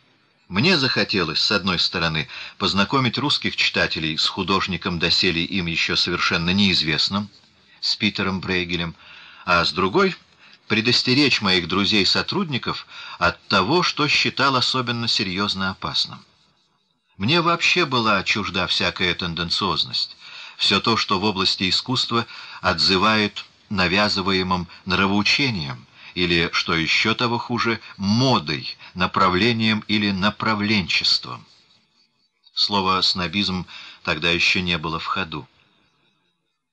На наш кружок я продолжал смотреть как на центр, в котором будет вырабатываться просвещение и самое широкое восприятие прекрасного. Напротив, я ненавидел и ненавижу всякую кружковщину, узкость, заведомое пристрастие, а главное добровольный отказ во имя каких-либо общественных принципов от свободного творчества и свободной оценки явлений.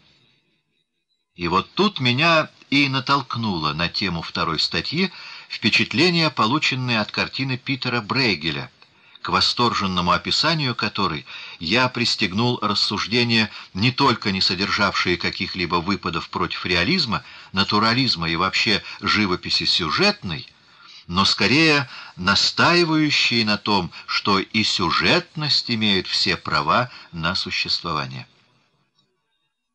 Вопрос о том, есть ли картина в музее Кан, оригинал самого мастера или копия, сделанная его сыном, здесь не имеет значения.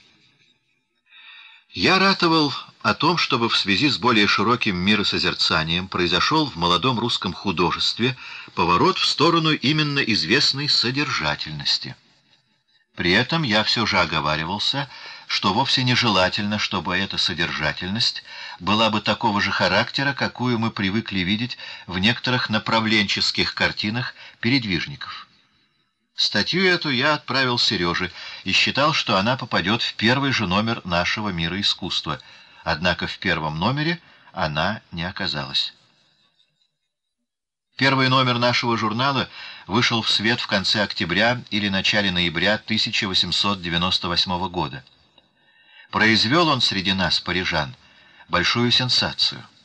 Однако должен прибавить, что если и был приятен самый факт рождения нашего собственного органа, то в этом первом номере нам далеко не все понравилось. Начать с самого преувеличенного формата и с претенциозной в своей пустоте обложки. Еще меньше мне были по вкусу уродливые, совершенно любительские потуги создать что-либо новое в декоративной области. Никак я не мог одобрить и то, что в первом же номере, имевшем как-никак значение известного кредо наших идеалов и стремлений, половина иллюстрации была посвящена тому художнику, к которому у меня выработалось определенно отрицательное отношение, а именно к Виктору Васнецову. Я никак не мог понять, как это могло случиться? Так как никто из художников в составе редакции как будто не поддавался обаянию этого якобы основоположника новой русской церковной и национальной живописи. Менее всего я мог заподозрить в этом самого Дягилева. Позже выяснилось, что вообще первый выпуск следует в значительной степени считать делом Философова, и это он именно, скорее из каких-то тактических соображений, навязал Васнецова, настоял на том, чтобы ему было уделено столько места. Он же добился того, чтобы нашему журналу был придан определенно литературный уклон, что также в моих глазах было серьезным дефектом. Будь я во время создания журнала в Петербурге, я бы не допустил такого преобладания текста над изображениями но меня не было, а с остальными членами редакции Дима, убежденный в правоте своего тактического хода, не привык считаться в той же степени, как со мной. Из всех нас как раз Дягилев был особенно чужд литературе и философии, а тем паче философии религиозного оттенка, то есть того, что как раз захватывало его двоюродного брата. Дягилев вообще читал мало и иногда в минуты откровенности признавался в удивительных пробелах своего знакомства с литературой, даже классической. В нем это было чем-то даже органическим. При его удивительной способности все схватывать на лету, чтение книги, смысл и цель которой ему становились ясными с первых же страниц, представлялось ему занятием скучным и просто лишним. В философских же вопросах Сережа просто не разбирался, да и не желал разбираться. Это была для него область закрытая и недоступная. К тому же, не будучи каким-либо убежденным атеистом, вроде Нурока, выражая напротив известный пиетет к церкви и к религии вообще, Дягилев все же обнаруживал к так называемым запросам души, коренным загадкам бытия, полное равнодушие. Но вот перед философом этот столь отважный человек буквально трусил. Ему он уступал чаще всего без споров, а так как Дима был натурой довольно-таки властной, то эти уступки повторялись постоянно и принимали хронический характер. В значительной степени Дягилеву принадлежит выработка внешнего вида нашего журнала. Формат, забота об изяществе печати и придаче его внешности известного дразнящего характера, что, между прочим, выразилось и в том штемпеле, представляющем двух рыбок, которые, недолго думая, сочинил Коровин, и который, помещенный на пустой светлой обложке, так наивно должен был свидетельствовать о передовитости нашего журнала. Напротив, скорее философову, нежели Дягилеву, принадлежал тот специфический тон, который был придан текущей хронике и критическим заметкам. Однако сам философов, чрезвычайно едкий в жизненный язык, редко брал на себя сочинение таких злобных пасквилей. Считая необходимым для успеха журнала, для придания ему большего значения, подобное дразнение гусей, философов все же охотнее предоставлял сочинение этих выпадов Нуроку. Задирательный юмор последнего особенно отразился в заметке о выставках Клевера и Верещагина. И вот именно эта заметка произвела тогда в художественных кругах Петербурга наибольший шум. Она же сразу укрепила за миром искусства, несмотря на все заверения о нашем мнимом упадке, репутацию какой-то штаб-квартиры опаснейшего декаденства. Вся заметка сводилась к следующему тексту несчастной Англии грозят выставки картин русских художников Клевера и Верещагина. Как предохранить русское искусство и английскую публику от такого неприятного сюрприза? «Мир искусства», 1899 год, номера 1-2, страница 9. Озадачила эта заметка и нас. Ничего подобного мы не ожидали. Это шло вразрез с нашими чаяниями и предположениями, наконец, и с нашим вкусом. Когда оказалось из почти единодушных отзывов прессы, что все старания мира искусства показаться солидным, веским, значительным и просвещенным органом были парализованы именно вот таким мальчишеством, такой провокацией к скандалу, то это возмутило не только меня, Сомова и Лансере, но и обеих княгинь. Мария Клавдиевна прям-таки рвала и метала. Она не могла простить Дягилеву, что он допустил подобную выходку, бросившую тень и на нее, как издательницу. У меня здесь, на чужбине, не сохранилось то письмо к друзьям, в котором я высказал свое мнение о первом номере «Мира искусства». Но мне запомнилось в общих чертах, в чем заключалась моя критика. Особенно досталось за предоставление значительной части иллюстраций Васнецову. Все это было не лишено основания, и возможно, что с многим иные из моих друзей согласились бы, но то, что мой отзыв был лишен поощрения, огорчило всех и внесло ненадолго в наши отношения некоторый холод.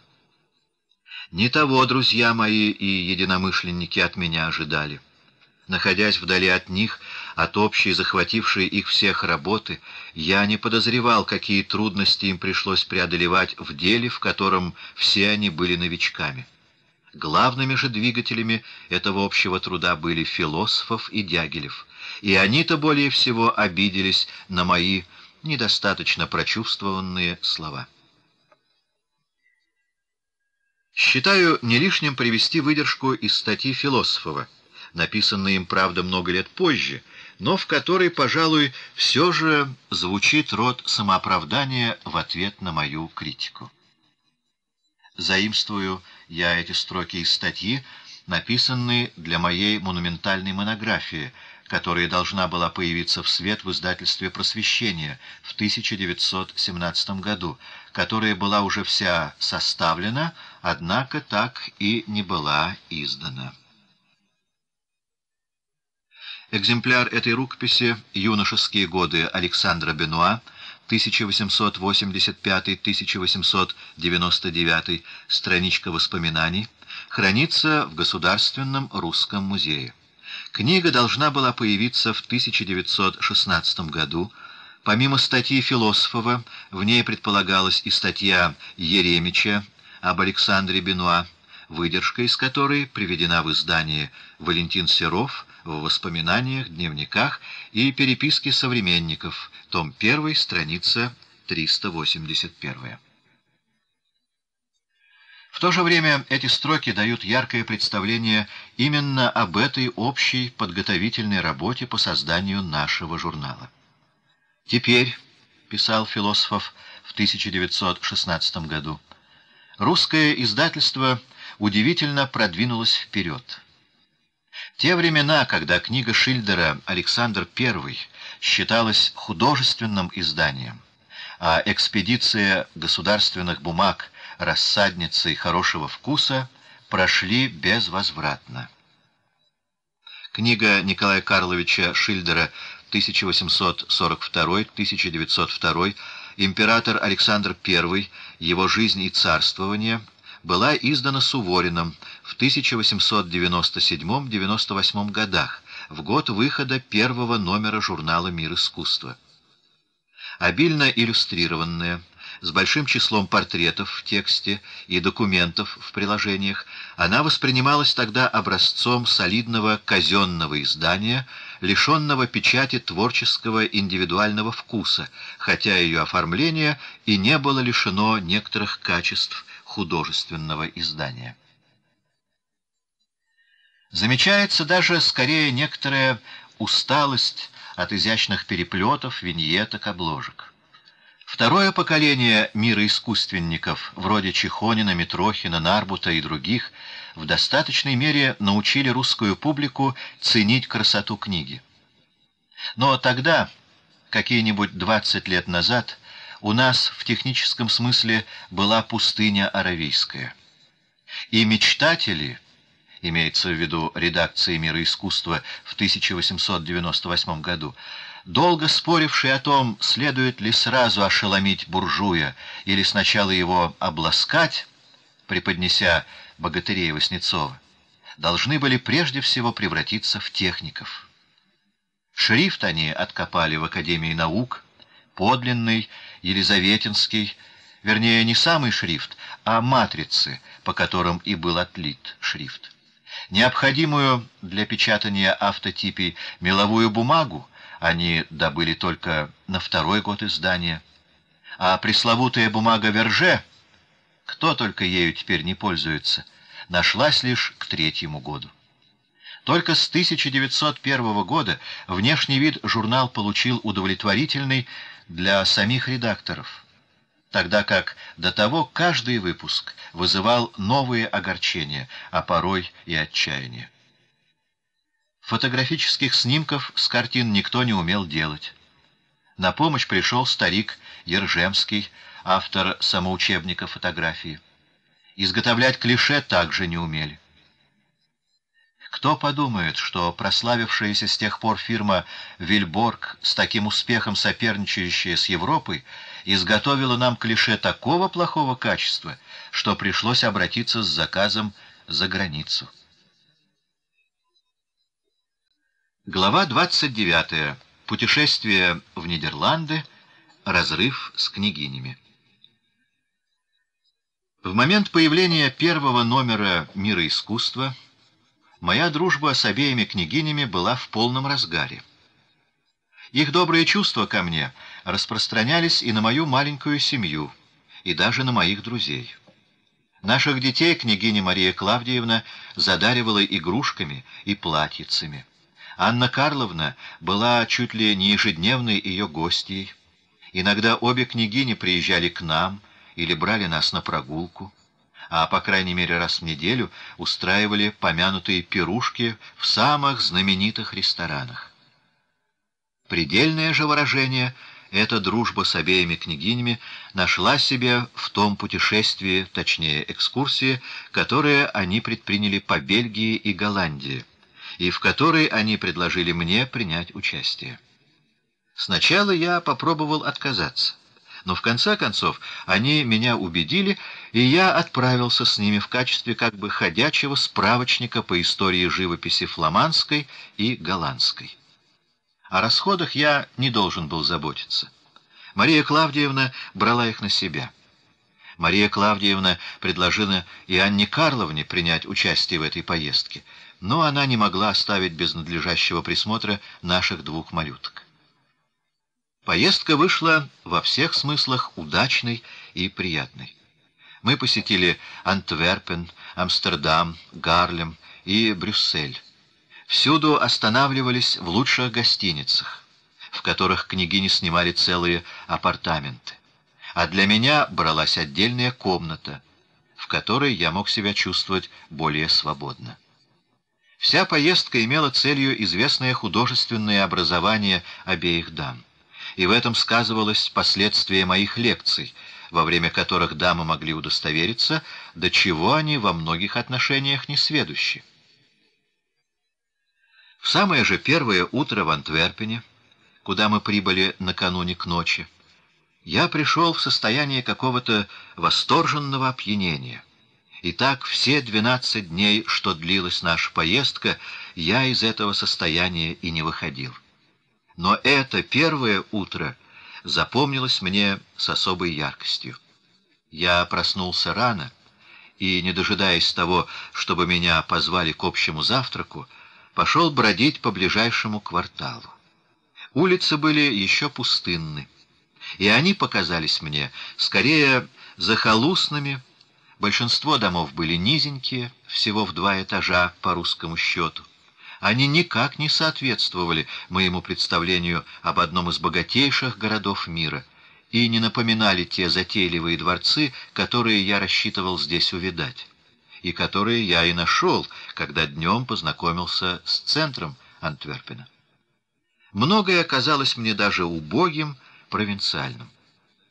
И тут, совершенно неожиданно, я забыл всю хмурость и все убожество этой первой антверпенской улицы.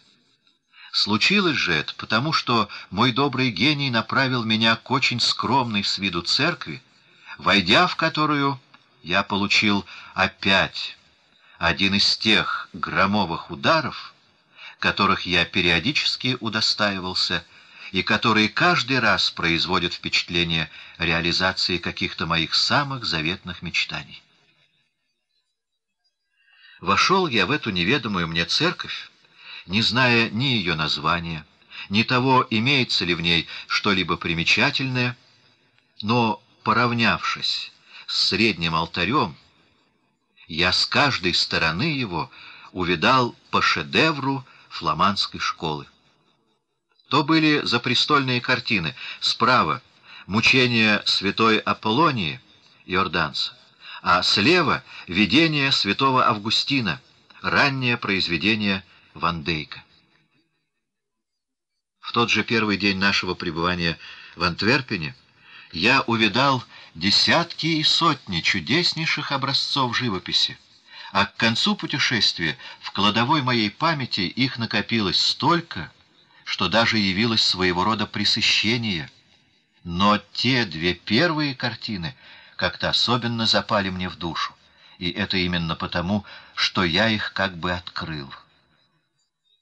Впрочем, эти две картины действительно чудеснейшие вещи. Картина Йорданса свидетельствует о полном расцвете могучего таланта мастера — Картина же Ван Дейка и в красках, и в исполнении, и в композиции исполнена той огненности, которой совершенно еще юный гений заразился от своего еще более гениального учителя Рубенса, и которую уже не найти в его позднейших произведениях. Рембрандт не сразу сделался моим кумиром. В первые мои посещения Эрмитажа мне лишь некоторые картины мастера нравились, и особенно я любил разглядывать чудесное снятие со креста. Некоторые же картины меня скорее коробили тем, что маловоспитанному на академических идеалах мальчику представлялось непростительными ошибками.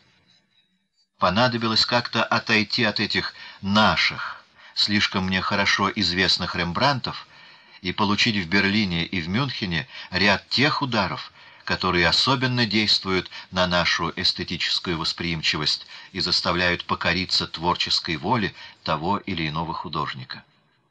Общая оценка тогда до того меняется, что самые дефекты начинают казаться пленительными достоинствами. И в художнике такой колоссальной мощи и такой силы соблазна, как Рембрандт, это превращение недостатков в нечто чарующее приобретает особенно убедительный характер. Что-то в этом роде я говорил своим спутницам, которые пришли на ту выставку Рембранта, которая была устроена в Амстердаме, еще во власти школьных предрассудков, а покинули ее после второго посещения в значительной степени переработанными. Так мне, по крайней мере, казалось. Особенно запомнилось мне наше стояние перед картиной «Купание Дианы». Моих дам смутило это сборище безобразных, вульгарных, женских, скажем проще, бабьих тел, и то, как все они сбились в одну барахтающуюся кучу, стараясь закрыть свою стыдливую госпожу от взоров дерзновенного охотника Актиона. Смущал и костюм последнего, не только ничего общего с античностью не имеющий, но и сам по себе тяжелый, неудачно театральный. Меня же эта картина — о существовании которой я до сих пор не ведал, заинтересовала особенно. Она произвела на меня почти столь же сильное впечатление, как картина того же раннего периода творчества Рембранта в Берлинском музее «Похищение Прозерпины». Как там меня удивил тот адовый, копотью покрытый властелин-разбойник, что мчит на колеснице бьющуюся в его руках, одетую в парчевое платье девицу, так и здесь подобное перенесение античного мифа в какой-то мир северной сказки сообщает всему особенную силу поэзии. Такие неожиданности в Рембранте меня всегда особенно трогают — тогда как я остаюсь скорее равнодушным перед иными особенно знаменитыми его шедеврами. И менее всего меня тронула в Амстердаме архизнаменитая его картина «Ночной дозор». В 1898 году она оставалась на месте в Рейкс-музеуме, и ее оттуда не взяли в особые помещения выставки. Мои дамы, усевшись на стулья, расставленные перед картиной, на манер, как в Дрездене, устроены такие же места для паломников искусства перед Сикстинской Мадонной, сначала, как полагается, они мели, а потом пошли восклицания и вздохи восторга. Я же почувствовал себя неловко, так как картина мне сразу представилась какой-то грандиозной неудачей, чем-то несуразным, путанным, и чрезвычайно условным. Этой картине присущ какой-то искусственный стиль 1830-х годов.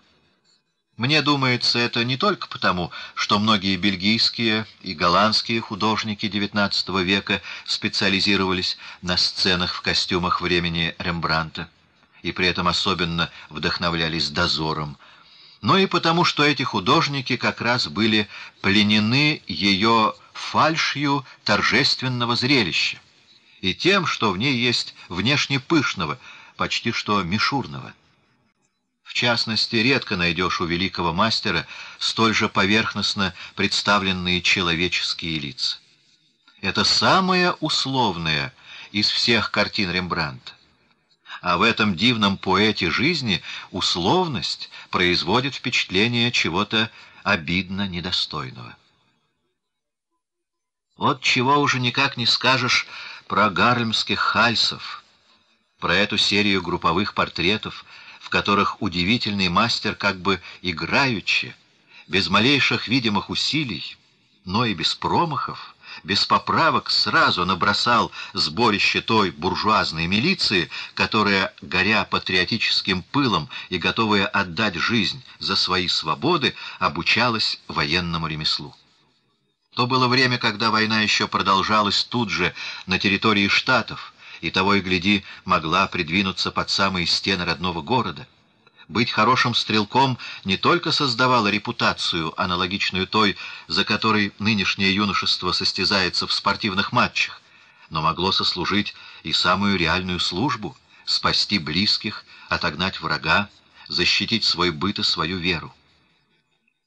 Эти хальсовские групповые портреты не картины в обычном смысле, а какие-то моментальные снимки с натуры, потребовавшие, однако, от съемщика такой уверенности в рисунке, такой гибкости и послушности кисти, такой безошибочности в выборе красок, каких не найти нигде и ни у кого.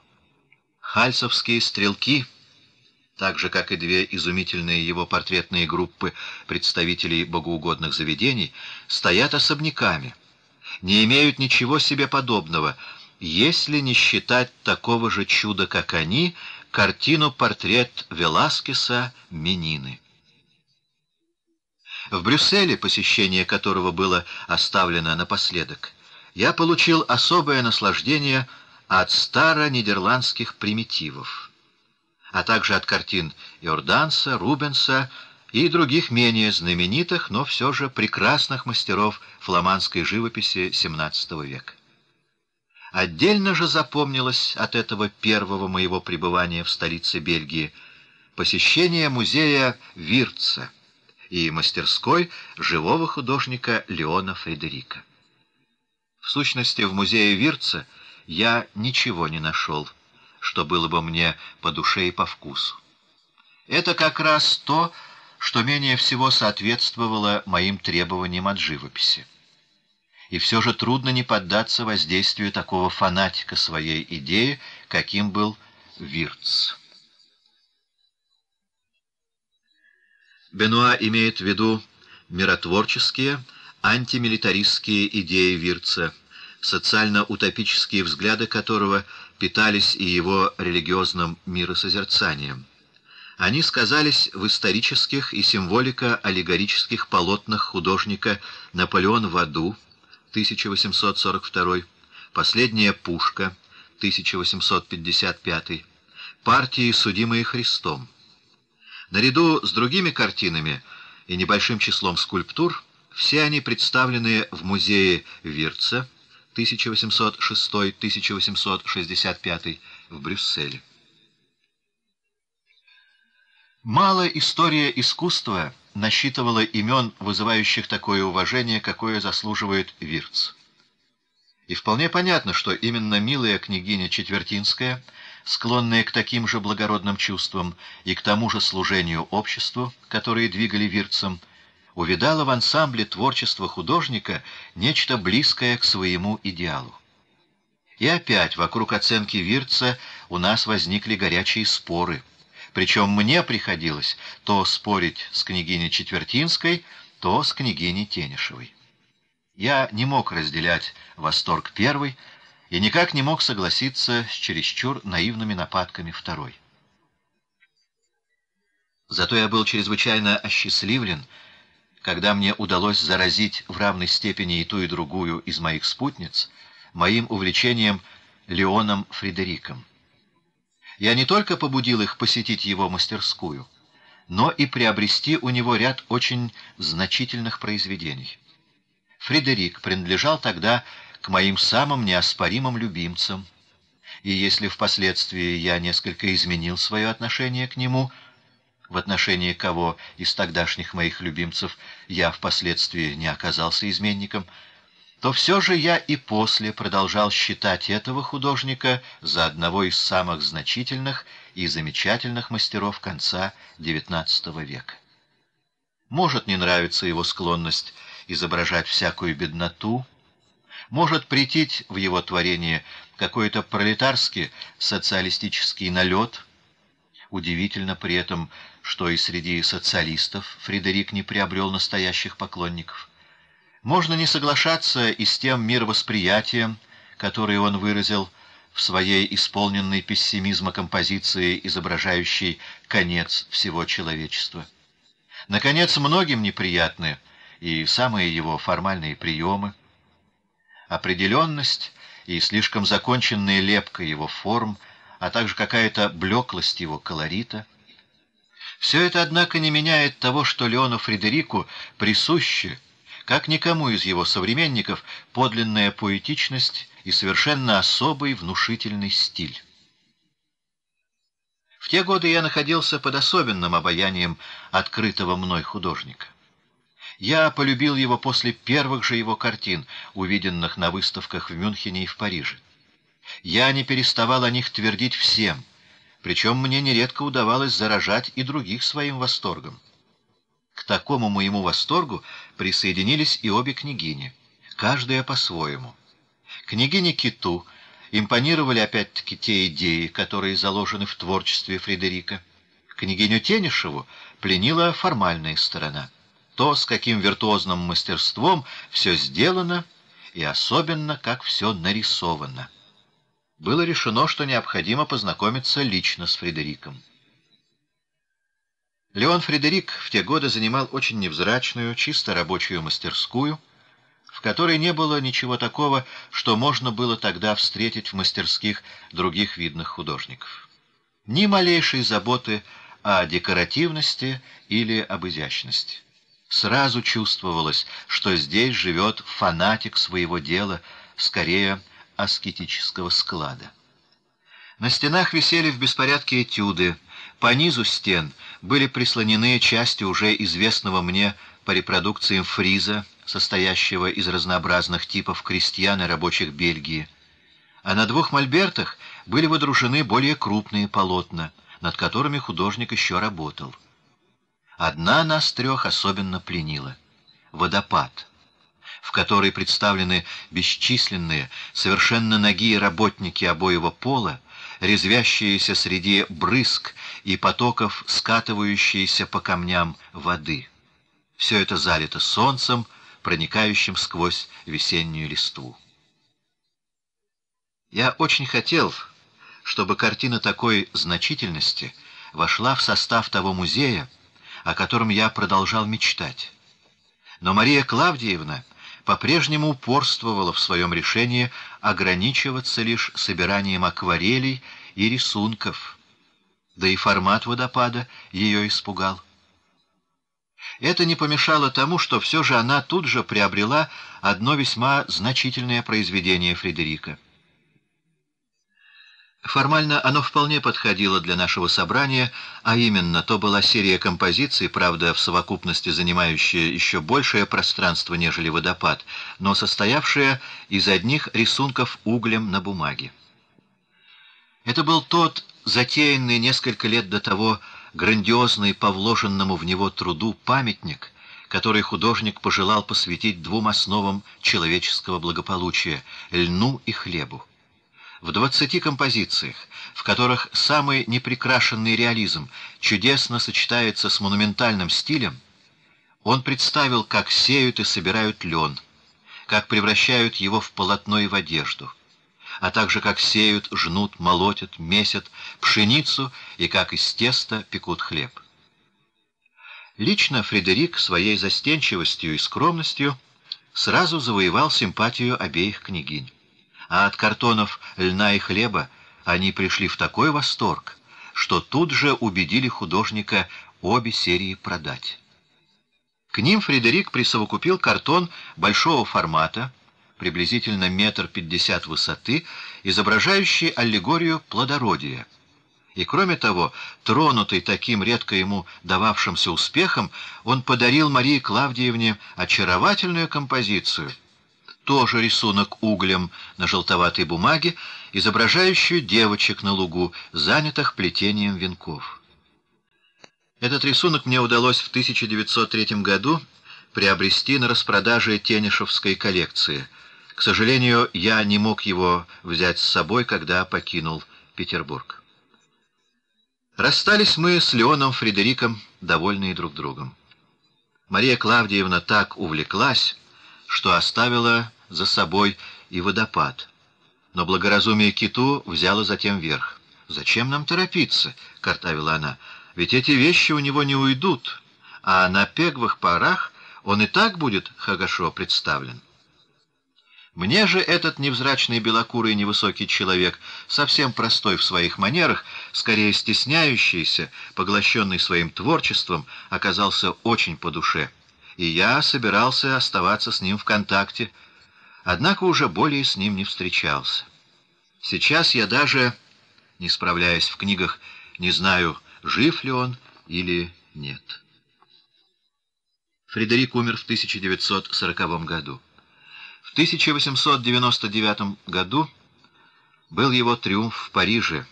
Люксембургский музей приобрел его замечательную картину «Труд». И многие годы после того, и пока музей оставался в своем старом помещении, оправдывавшем его наименование, этот триптих висел там на самом почетном месте.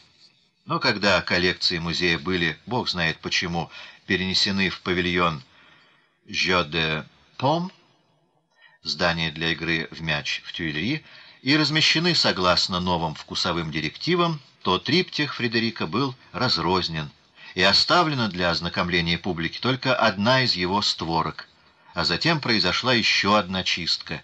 Из Музея европейского искусства бывший Люксембург превратился в музей одного только французского импрессионизма и всяких крайних направлений, а все иностранные картины отставлены в запас.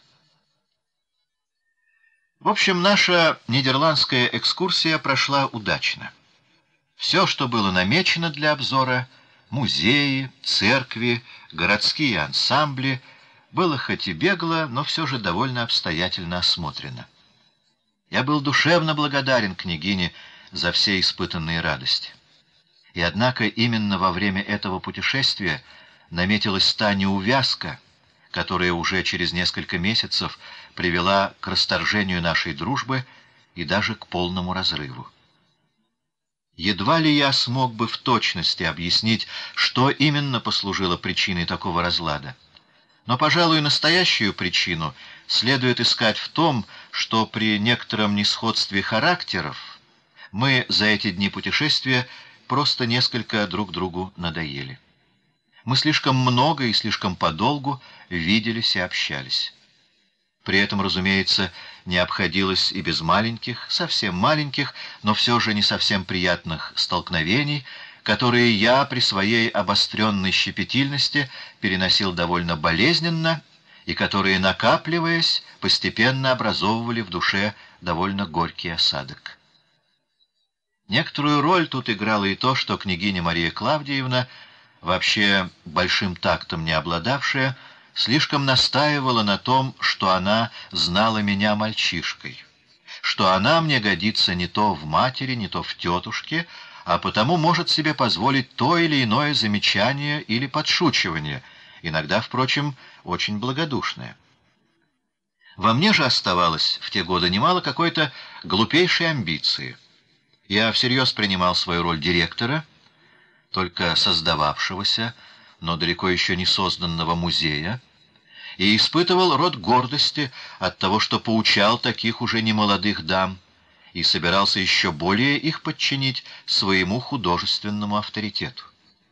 Возможно, что вследствие всей такой психологии я был способен задеть обостренное самолюбие княгини Тенишевой.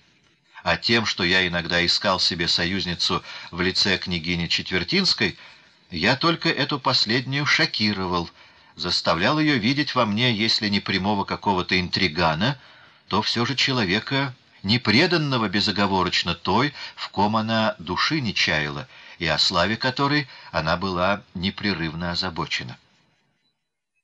Атмосфера наших отношений за те дни, которые мы провели, не расставаясь ни на час, сгустились до чего-то весьма нудного и трудновыносимого. Во мне все более стало обозначаться желание как-то освободиться от своей материальной зависимости и встать с княгинями на равную ногу. И как раз через несколько дней после конца нашего путешествия произошло то бесконечно печальное событие, которое мне дало возможность осуществить такое освобождение. То была кончина обожаемого мной отца и получение небольшого наследства. Я воспользовался этим, чтобы подать в отставку, что было не без основания принято княгинями за своего рода измену, и что положило между нами пропасть, через которую так и не было переброшено затем мостов. Глава 30. Смерть отца. Наш отец скончался 11 23 декабря 1898 года. О том, что нашего чудесного, обожаемого папочки не стало, я был извещен телеграммой, вызвавшей меня на погребение в Петербург. Известие это не было неожиданным. Покидая в начале марта Петербург и прощаясь с папой, я мог предполагать, что не увижу его больше в живых. В момент моего приезда в январе мне показалось, что он за год очень постарел. В его лице подчеркнулось что-то скорбное, что легло на него с самой минуты смерти мамочки. И кроме того, он и ходить стал менее уверенной и легкой походкой. Однако в остальном это был все еще бодрый, живой, то занятый какой-либо работой, то отдыхающий с тем достоинством, которое приличествует человеку, имевшему за собой долгую, ни единым пятнышком незамаранную жизнь. Уже два года, как он бросил свою службу в городской думе и проводил время исключительно в домашних занятиях. Совершенно же без дела он мог оставаться ровно столько, сколько было потребно, чтобы набраться обновленных сил. Он по-прежнему рисовал, вырезал, клеил, читал, раскладывал пасьянсы. Любимым чтением папы в этот последний период были статьи в большой 52-томной энциклопедии сороковых годов. По утрам за кофеем он неизменно прочитывал номер издававшейся в Петербурге французской газеты, специально издававшейся при субсидии правительства для информации дипломатического корпуса и за границы. Все же теперь чаще можно было заставать его сидящим в буквальном смысле сложа руки – и следящим своим грустным взором, в котором уже просвечивало прощание с жизнью за занятием или играми своих внуков и внучек.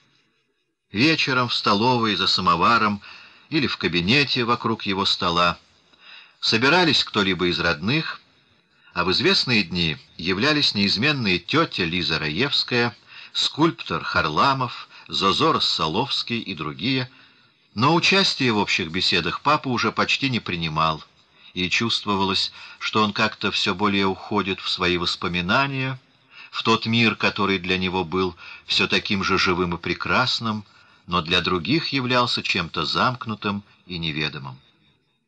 На какие-либо недомогания папа не жаловался. Но вот к концу моего пребывания, в начале марта 1898 года, произошла значительная перемена именно в физическом состоянии папы. Он внезапно почувствовал большое затруднение в пользовании ногами. На них появились отеки и раны. В то же время он стал жаловаться на неприятный вкус во рту или на то, что он вообще не различает вкуса и запаха в пище. В связи с этим появилось и отвращение к еде, и приступы тошноты, в этом состоянии я его покинул. Но из писем сестры Кати я догадывался, что здоровье нашего отца, если не проявляет катастрофического характера, то все же постепенно ухудшается. Пришлось нанять человека, который ходил бы за все более слабеющим папочкой. И хотя он еще и не обезножил совсем, все же пришлось обзавестись катальным креслом так как передвигаться ему становилось труднее и труднее. Еще в течение лета 1898 года я получил два или три письма от папы, писанные почти всегда по-французски, тем же ясным почерком, но они уже не были украшены его обычными прелестными рисунками и акварелями. А затем осенью пришло то его письмо, которое меня напугало. Слова, писанные дрожащей рукой, наезжали одно на другое, а местами начатая строчка просто переходила в какие-то непонятные каракули. Было совершенно очевидно, что ясный светлый ум папы помутился, что наступают сумерки его духа, предвещающие конец. Мне это показалось тогда обидным, ужасно незаслуженным. И особенно меня поразило то, что писала Катя о каких-то странных попытках папы бежать из дому. Оставалось непонятным, как ему два раза удалось обмануть бдительность приставленного специально к нему слуги, встать с кресла и добраться до передней.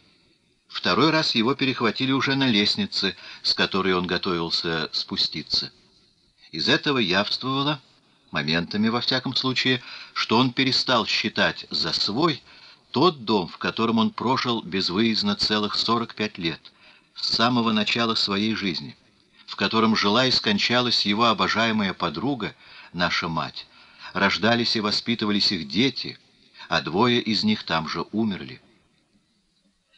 Теперь хозяйка этого дома была любимая дочь, и он был окружен самыми нежными заботами, и все же его тянуло куда-то к себе.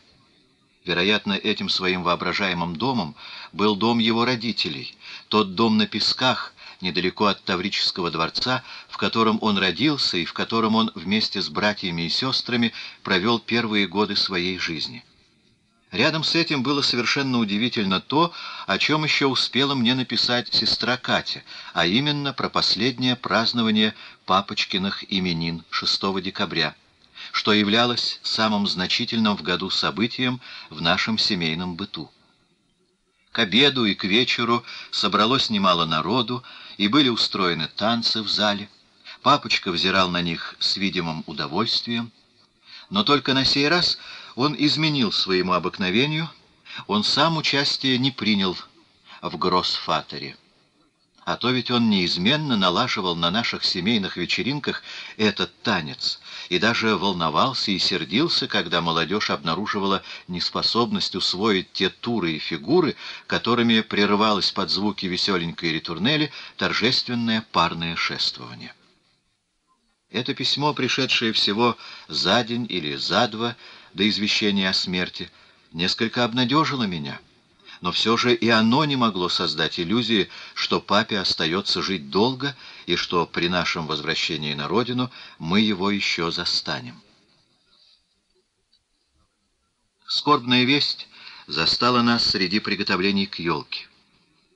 Уже к нам было доставлено дерево, уже Атя была занята украшением его, уже были сделаны главные закупки подарков и всяких угощений — уже прибыли подарки для маленькой Ати от княгини Тенишевой. Мы были очень заинтересованы, как будет реагировать на иллюминацию маленькая Елена, проявлявшая с каждым месяцем все большее внимание к окружающему. Что же касается до старшей сестры, то она уже вполне сознательно относилась к приближающемуся празднику, приставала к нам с вопросами, что-то ей достанется — и была в высшей степени заинтересована тем, что происходило в нашей спальне, куда доступ был ей запрещен на все время приготовлений. Все это я покинул внезапно, и через два дня оказался снова в нашем прародительском доме на улице Глинки. Но многолетний хозяин этого дома уже навеки покинул его, и вследствие этого все сразу получило новый, несколько чуждый оттенок. Стояло морозное утро, и лучи солнца заливали парадные комнаты. Однако на сей раз они не придавали веселый вид всему, а скорее подчеркивали общую осиротелость. Все родные в момент моего прибытия были в сборе, но все в черном. Сестры, племянницы, кузины в длинных креповых вуалях и с заплаканными глазами. Папочка скончался в бывшей когда-то моей красной комнате, куда его не так давно переселили из комнаты, служившей ему спальней. Умер же папа, сидя. Минуту спустя, после того, что одетого в халат, его из постели пересадили в катальное кресло. Вынос тела в церковь святой Екатерины произошел накануне моего приезда вечером, и папочку в гробу мне так и не удалось видеть. Глядя с самым пытливым интересом на те пышные погребальные процессии, которые то и дело тянулись под нашими окнами, я иногда представлял себе, что такая же пышная нескончаемая церемония потянется и в тот день, когда повезут папу на место вечного упокоения. Шестерка лошадей цугом, попарно, в длинных черных попонах с гербами под коронами, повезут черные дроги с балдахином, а по сторонам улицы будут шагать факельщики. Папочкины ордена понесут впереди, каждый на подушке, папины сослуживцы, а вслед за колесницей потянется нескончаемый ряд карет. На самом же деле все произошло совсем иначе и гораздо трогательнее. Правда, цветов было так много, что их пришлось сложить на отдельную повозку, да и провожающих карет было немало. Но вся остальная торжественность, по настойчиво высказанной воле папы, была отменена. Его желание даже было, чтобы его хоронили как бедняка, на простейших дрогах, запряженных в одну лошадь, без попоны, чтобы и факельщиков не было. На это, однако, семья все же не решилась, и простую, открытую, без балдахина колесницу везла пара лошадей в попонах. Из нескольких надгробных речей над открытой могилой в нашем семейном склепе наиболее замечательной была та, что произнес граф Сюзор. На сей раз нашему знаменитому говоруну удалось не только блеснуть подлинным ораторским даром, но и выразить охватившее его глубокое чувство. Граф Поль даже прослезился и еле ее договорил. Он был стольким обязан отцу, при котором он многие годы состоял на службе. Он так искренне и так душевно был ему предан. Уже через два-три дня было приступлено к решению вопроса о наследстве. Таковое оказалось менее значительным, нежели можно было ожидать, и сводилось в главных чертах к капиталу в 40 тысяч, к дому на улице Глинки, оцененному в 160 тысяч, и к движимому имуществу, обстановке и разным ценным вещам. Согласно завещанию, наличные деньги достались двум нашим сестрам, а дом по праву старшинства перешел к Альберу, причем он должен был выкупить его, уплатив каждому из братьев 32 тысячи. Что же касается до мебели, книг, картин, кое-каких драгоценностей, то им была сначала произведена опись и оценка, а затем все предметы распределены на семь групп таким образом, чтобы эти группы, с одной стороны, были равноценны, а с другой, чтобы каждый из нас получил то, чем ему было бы особенно приятно обладать. Альбер в качестве старшего заявил свои права на все семейные портреты и на обстановку папиного кабинета. Леонтию достались лучшие бронзы и наиболее ценные архитектурные книги — Другая часть досталась Кате ввиду того, что ее сын Коля готовился стать архитектором. Я же из всех сокровищ пожелал войти в обладание двух чудесных сепий Франческо Гварди. Довольно замысловатую задачу представлял собой раздел массы собственных произведений папы. Было бы, разумеется, правильнее все его путевые альбомы передать в какое-либо общественное хранилище — в музее Александра Третьего или музее Академии, но на это ни у кого из нас не хватило гражданской доблести. Напротив, каждому уже слишком хотелось получить хотя бы частицу того, что мы с самого детства любили разглядывать, слушая притом комментарии автора всех этих зарисовок и акварелей. Путевых альбомов было как раз 14, и каждому из нас поэтому досталось по два. Брат Миша получил те два альбома, которые были целиком заняты изумительными по краскам зарисовками, сделанными в Италии, плитных полов из разноцветных мраморов. Один из выбранных мной альбомов был посвящен пребыванию папы в 1846 году в прирейнских городах, и таким образом многое из того, что меня самого поразило в Вормсе, в Майнце, в Кёльне, я теперь имел в точнейших изображениях, сделанных папиной рукой и отражающих всю его любовь к памятникам среднеевропейского средневековья. Брат Миша получил те два альбома, хранятся в собрании Бенуа в Ленинграде. Один из выбранных мной альбомов в собрании Государственного русского музея.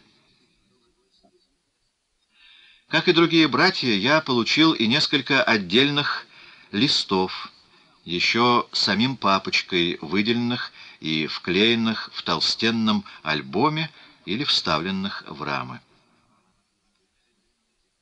Почти все чисто архитектурное наследие папы получил Леонтий. Но вообще этого наследия, кроме путевых альбомов, оказалось не так много, как можно было ожидать. Очевидно, значительная часть проектов и детальных чертежей осталась в каких-либо ведомственных архивах или же на руках у частных заказчиков.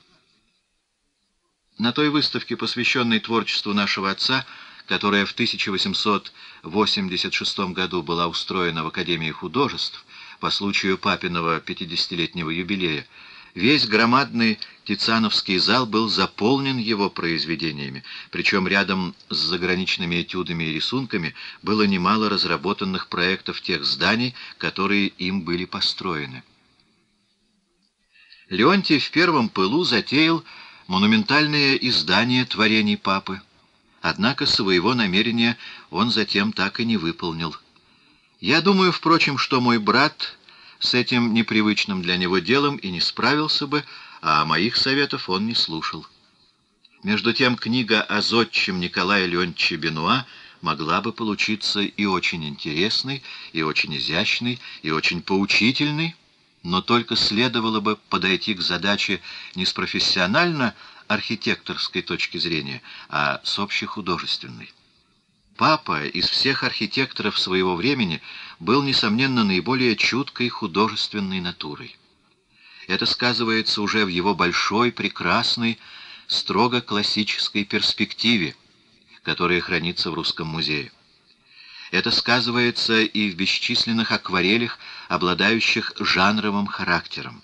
Наконец, та же особая чуткость проявляется в его лучших постройках, в грандиозных царских придворных конюшнях в Петергофе, фрейлинских домах и в вокзале там же, в здании училища в Петровско-Разумовском в Москве, в церкви в имении Шереметьевых в селе Высоком и в том проекте, который он представил на построение собора на месте цареубийства 1 марта 1881 года.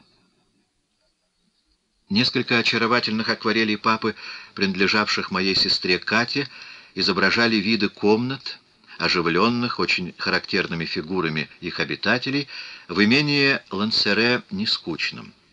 Они были исполнены во время нашего пребывания там летом 1885 года. Другая меньшего формата серия была посвящена летнему пребыванию в Пумале, Финляндия, весной 1891 года. Что стало со всеми этими акварелями, я не знаю. Значительные собрания акварелей и архитектурной графики Николая Леонтьевича Бенуа находятся в Государственном русском музее. Часть писем в семейном архиве наследников Бенуа в Ленинграде. Не знаю и то, сохранились ли бесчисленные акварели и письма, которые писал наш отец сыну Николаю в Варшаву и сыну Михаилу во время кругосветного плавания последнего.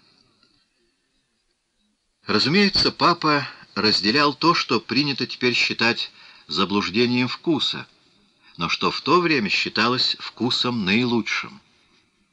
Подобно своим старшим коллегам, Кленце и Штакеншнейдеру, и он вдохновлялся памятниками самого разнородного порядка. Поэтому Николай Ленч Бенуа следует причислить к категории ныне не пользующейся признанием художников-эклектиков. Особенным неодобрением художественно-эстетической критики стала пользоваться именно архитектура этого типа – с тех пор, когда появились все усиливавшиеся требования о непременном создании нового, еще не бывалого, самобытного стиля с уклоном в национальное. Однако по проверке оказалось, что эти искания новизны не привели ни к чему действительно живому и убедительному, и по мере разочарования в них общество стало меняться в отношении к тому художеству более скромному, менее заносчивому, которое им предшествовало. Не только классический ампир – предстал в обновленном свете и нашел себе энтузиастских поклонников. Тогда как еще в дни моего детства ампирная архитектура считалась чем-то удручающим по своей казенщине. Но и так называемые стили Луи Филиппа, Второй империи, викторианский, стиль эпохи позднего Николая I и начала Александра II, все основанные на помянутом эклектизме и на известном поклонении прошлому, стали снова приобретать себе защитников и поклонников. Должен покаяться, что и я ныне принадлежу к таковым. К сожалению, разница в годах очень отозвалась на моих взаимоотношениях с папой. И эта разница стала ощущаться со все большей остротой по мере того, как я превращался из ребенка в отрока, в юношу. Лет до десяти можно сказать, что мы с папой были закадычными друзьями, а его авторитет был для меня неоспоримым. Эта закадычная дружба, выражавшаяся в какой-то неразлучности, в желании всегда быть вместе, приобретала нередко и довольно странные и даже смешные формы.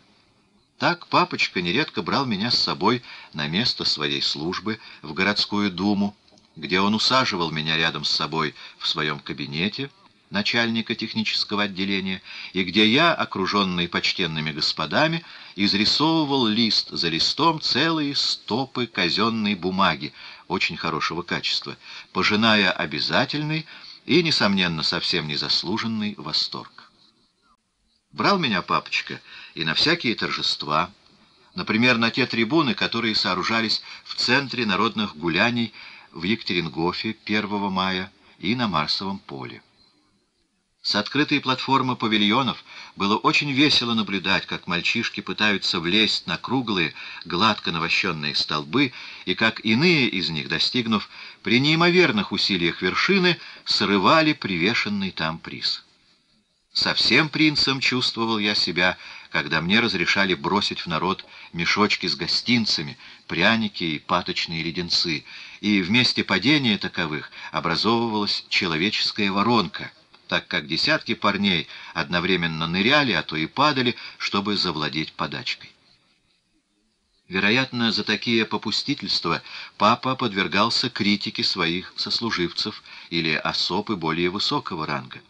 Не забуду, как во время молебна в Думе по случаю вступления на престол Александра III я подробно разглядывал красивый орден Белого Орла, висевший на боку у товарища министра Дурново, вплотную придвинувшись к этому в золото облаченному сановнику. Действительно, должно было казаться чем-то ненормальным встречать четырех, пятилетнего карапуза или даже мальчишку десяти и одиннадцати лет среди всяких особ в треуголках с плюмажем и в белых с золотым лампасом штанах. Но у папы это было выше его сил. Бывал я и жестоко наказан за то, что напрашивался папе в спутники. Однажды я затерялся в толпе прибывших на какие-то торжества. Не раз я и коченел от слишком долгого стояния под открытым небом в пасмурные дни. Бывало и так, что я подымал рев, просясь домой. И что же?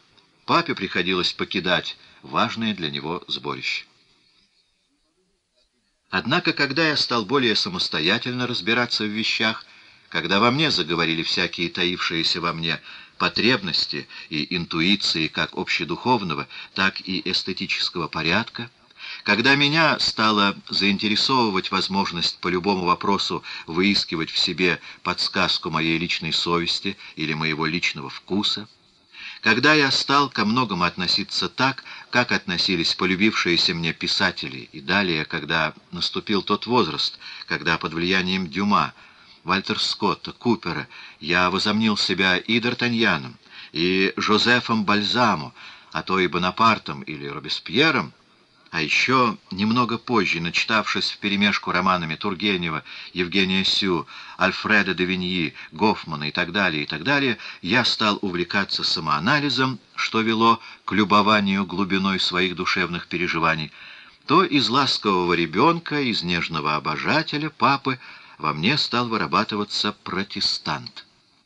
И этот протестант стал с идиотской предвзятостью усматривать во всем, что говорил или что делал папа, нечто для себя неприемлемое, а моментами даже возмутительное. К этому прибавились еще нелады между нами из-за моего небрежного отношения к учению или из-за наших ночных засиживаний с друзьями. Моя дружба с Марией Карловной в 1884-85 годах, которая вследствие своих артистических замашек, вследствие своего нежелания считаться с предрассудками, была в нашем патриархальном быту не на очень хорошем счету, и в особенности то, что я почерпал из общения с ней и с ее, подчас очень циничными обожателями, усугубляли эту размолвку, этот антагонизм в стиле тургеневских отцов и детей. И вот к этому покаянию прибавляются ныне чувства жгучей досады. Мне досадно, что я как-то недостаточно использовал папочку, не взял от него всего, чем бы он мог со мной поделиться. В частности, я не использовал его громадного художественного опыта. Но тут, пожалуй, виноват не один я, но и он. Точнее, тому помешали какие-то педагогические навыки, какая-то манера быть папочки, привитые ему академией, академией двадцатых и тридцатых годов. Ведь тогда в полной силе был принцип, согласно которому ученик должен был принимать на веру и, не рассуждая, все, что не скажет учитель. Не могу тут же, именно у гроба дорогого папочки, еще раз не вспомнить о роли мамы в моем воспитании. Конфликты между мной и отцом грозили не раз принять довольно-таки уродливые формы. Я, начиненный идеями, характерными для XIX века, исполненный стремлением к свободе, принимая на веру все, чему учили те либеральные времена, я с негодованием относился ко всякого рода насилию, и особенно меня возмущало в папе то, что он в своей манере быть унаследовал от суровых николаевских времен. На типичного николаевского служаку, сухаря-формалиста, наш мягкий, добрый, отзывчивый отец, разумеется, вовсе не был похож. Но все же он верил, что какая-то дисциплина в воспитании детей необходима, и что это можно достичь посредством часто напускной строгости.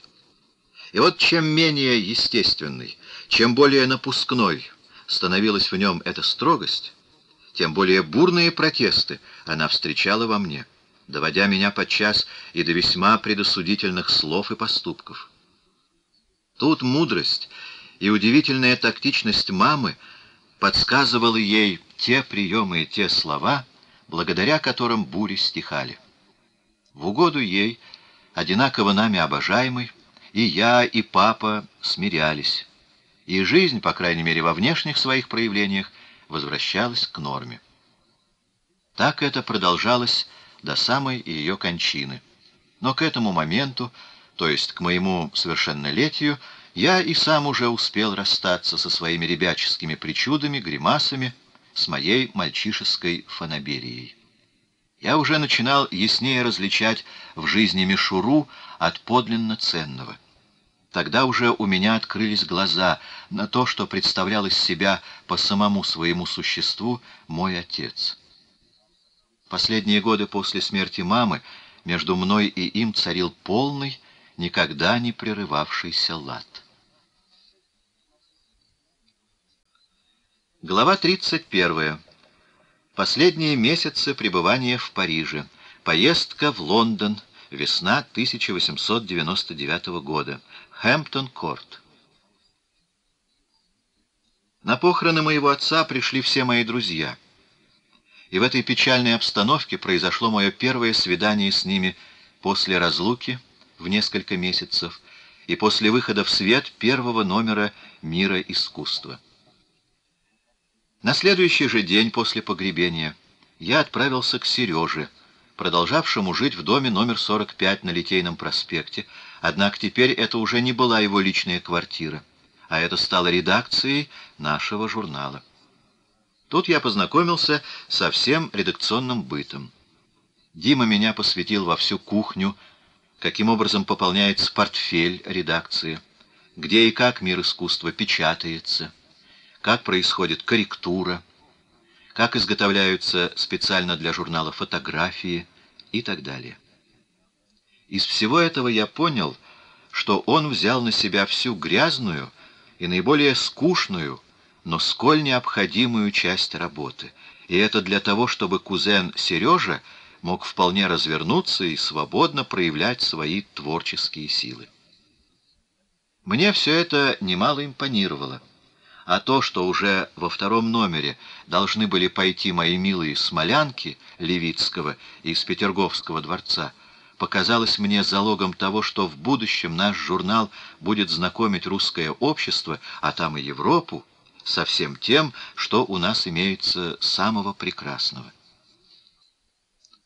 Однако во второе мое посещение редакции на следующий день, когда все наиболее жгучие темы были исчерпаны, и когда я уже счел себя каким-то членом редакционного комитета и только стремился скорее взяться за работу, на первых порах хотя бы только в качестве заграничного корреспондента, между мной и друзьями произошла серьезная размолвка. На мой вопрос, когда они думают поместить присланную мною из Парижа статью о жанровой живописи, я из разных недоговорок и хитрений понял, что они вообще помещать ее не намерены.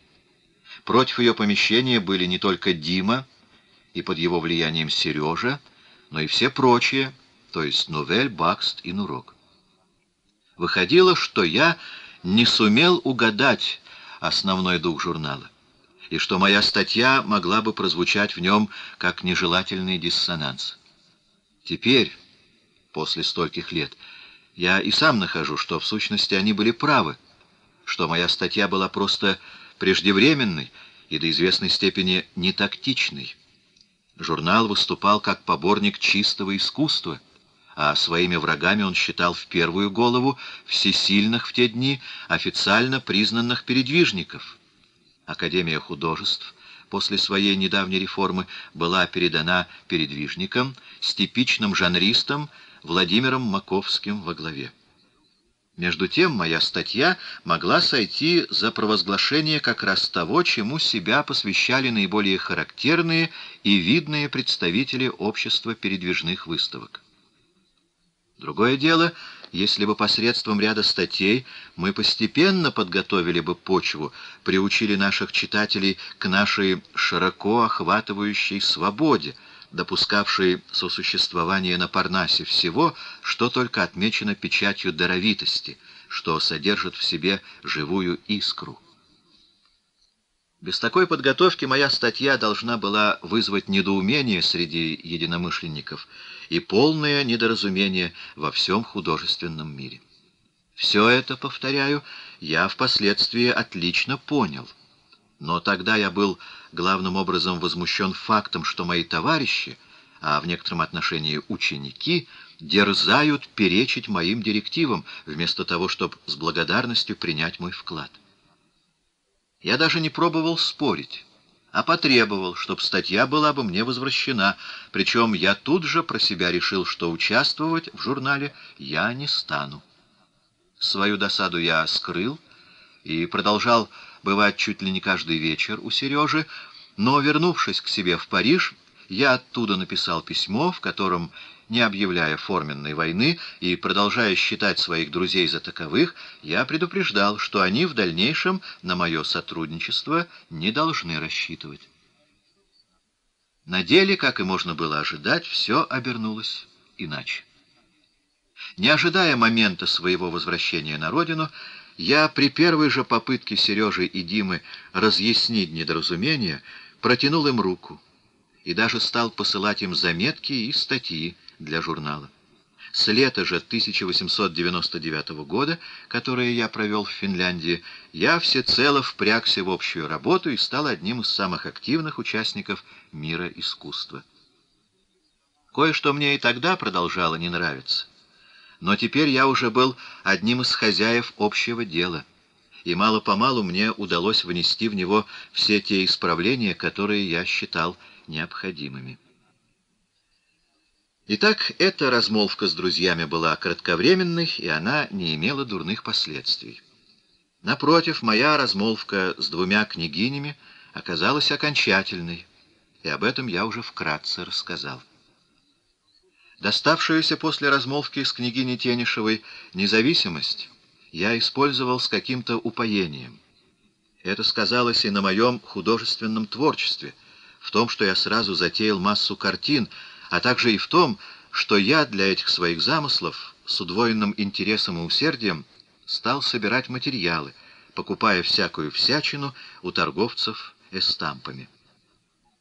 Решив, что пора возвращаться домой, мне хотелось запастись всем тем, что мне еще мог дать Париж. Я сомневался, чтоб мне в скором будущем удалось бы снова оказаться в этом чудесном городе, и еще менее, чтоб я мог в нем пожить. В те же последние парижские месяцы мне довелось вернуться и к некоторым русским темам и настроениям. Это явилось как бы предвкушением того, что меня ожидало на родине.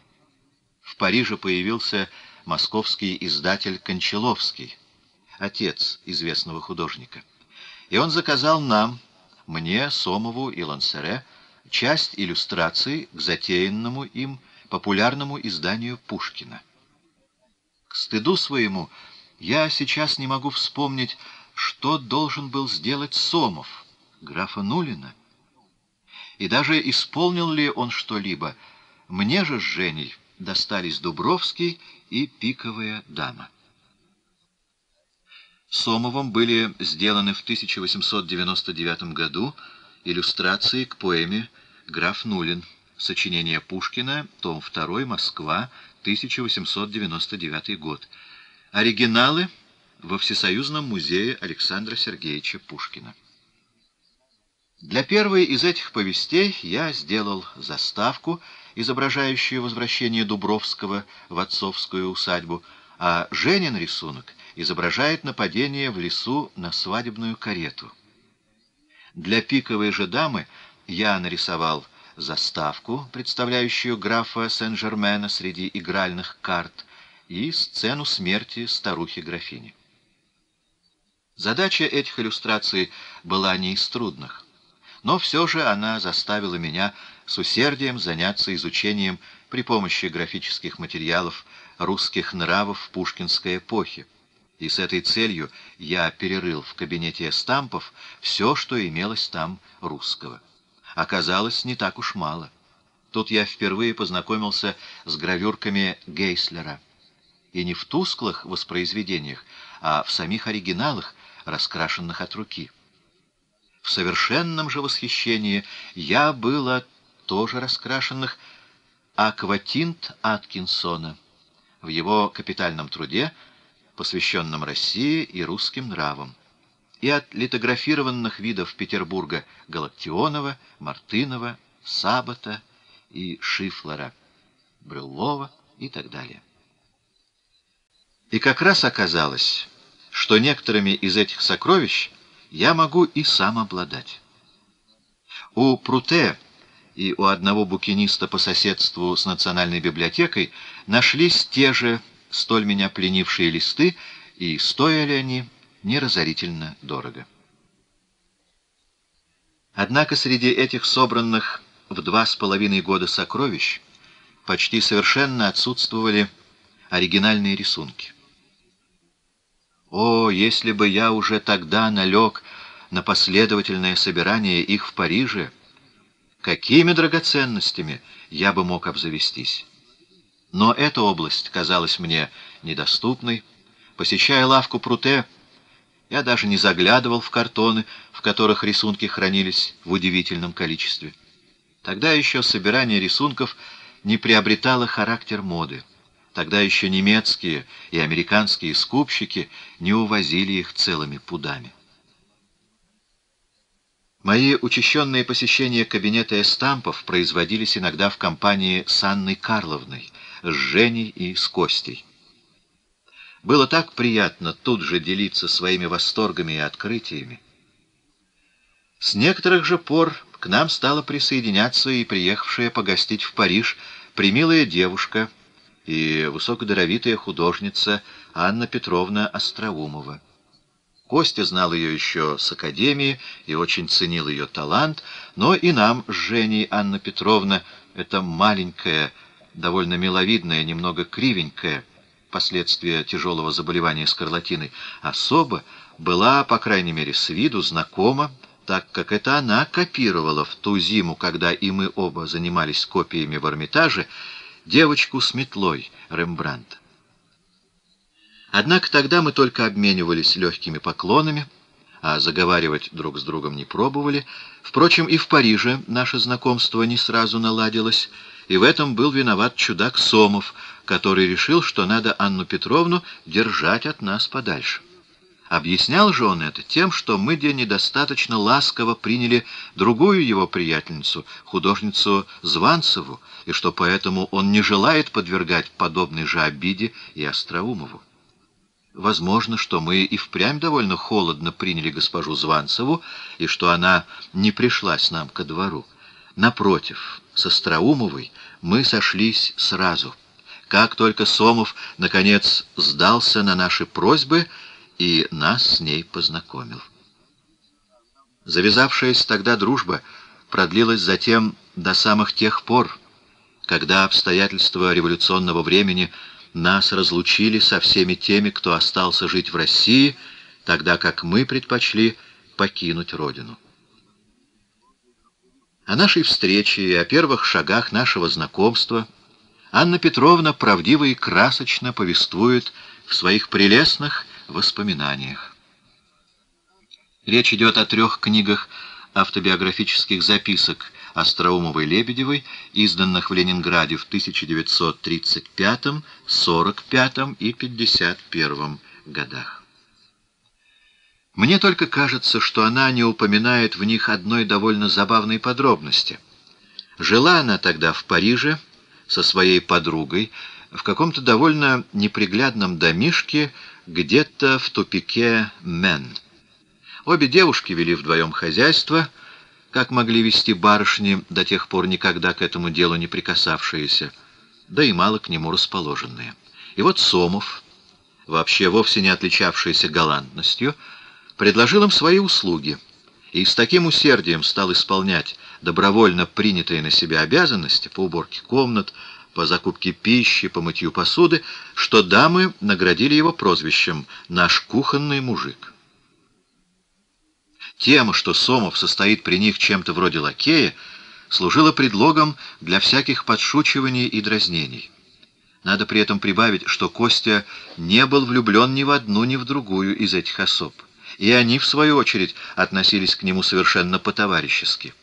Он вообще обладал склонностью дружить с дамами, а дамы, что называется, льнули к нему, охотно делая его своим конфидантом. В Лондоне. Совсем к концу парижского пребывания наша компания разрослась благодаря приезду Нурока и Нувеля. Мы, старые парижане, старались оказать радушный прием новоприбывшим. Гурьбой человек в десять мы ходили на выставки, по музеям, иногда и угощались в ресторанах, причем, разумеется, было много смеха и всякого шутовства, ведь и нашему старейшему Нуроку было немного за тридцать. Почти в полном этом составе мы осуществили и нашу мечту побывать в Лондоне. Нурок, проведший часть детства и отрочества в Англии, взялся быть нашим гидом, а когда мы уже оказались в Лондоне, то в помощь ему явился еще другой русский англичанин, господин Острогорский. Однако надо признаться, что гидирование их ограничилось помещением нас в отвратительном грязном пансионе, и в ознакомлении нас с системой омнибусов. Они же свели нас в несколько театров. Попробовал я проникнуть к своему английскому свойственнику, к всемогущему театральному деятелю Джорджу Эдвардсу, но он меня, возможно, что по недоразумению, не принял, на что я чрезвычайно обиделся. Во всем же остальном, как-то в посещении и изучении музеев и других достопримечательностей, мы очень скоро эмансипировались от наших гидов и сумели каждый по-своему вкусить прелести великобританской столицы. Ощущение Англии началось с самого нашего прибытия в порт Саутгемптон, куда нас доставил из Дьеппа пароход после трехчасового плавания. Этот более долгий путь был экономичнее, по совершенно спокойному Ла-Маншу. Один вид первых прогуливающихся на портовых фортификациях, необычайно фронтоватых военных.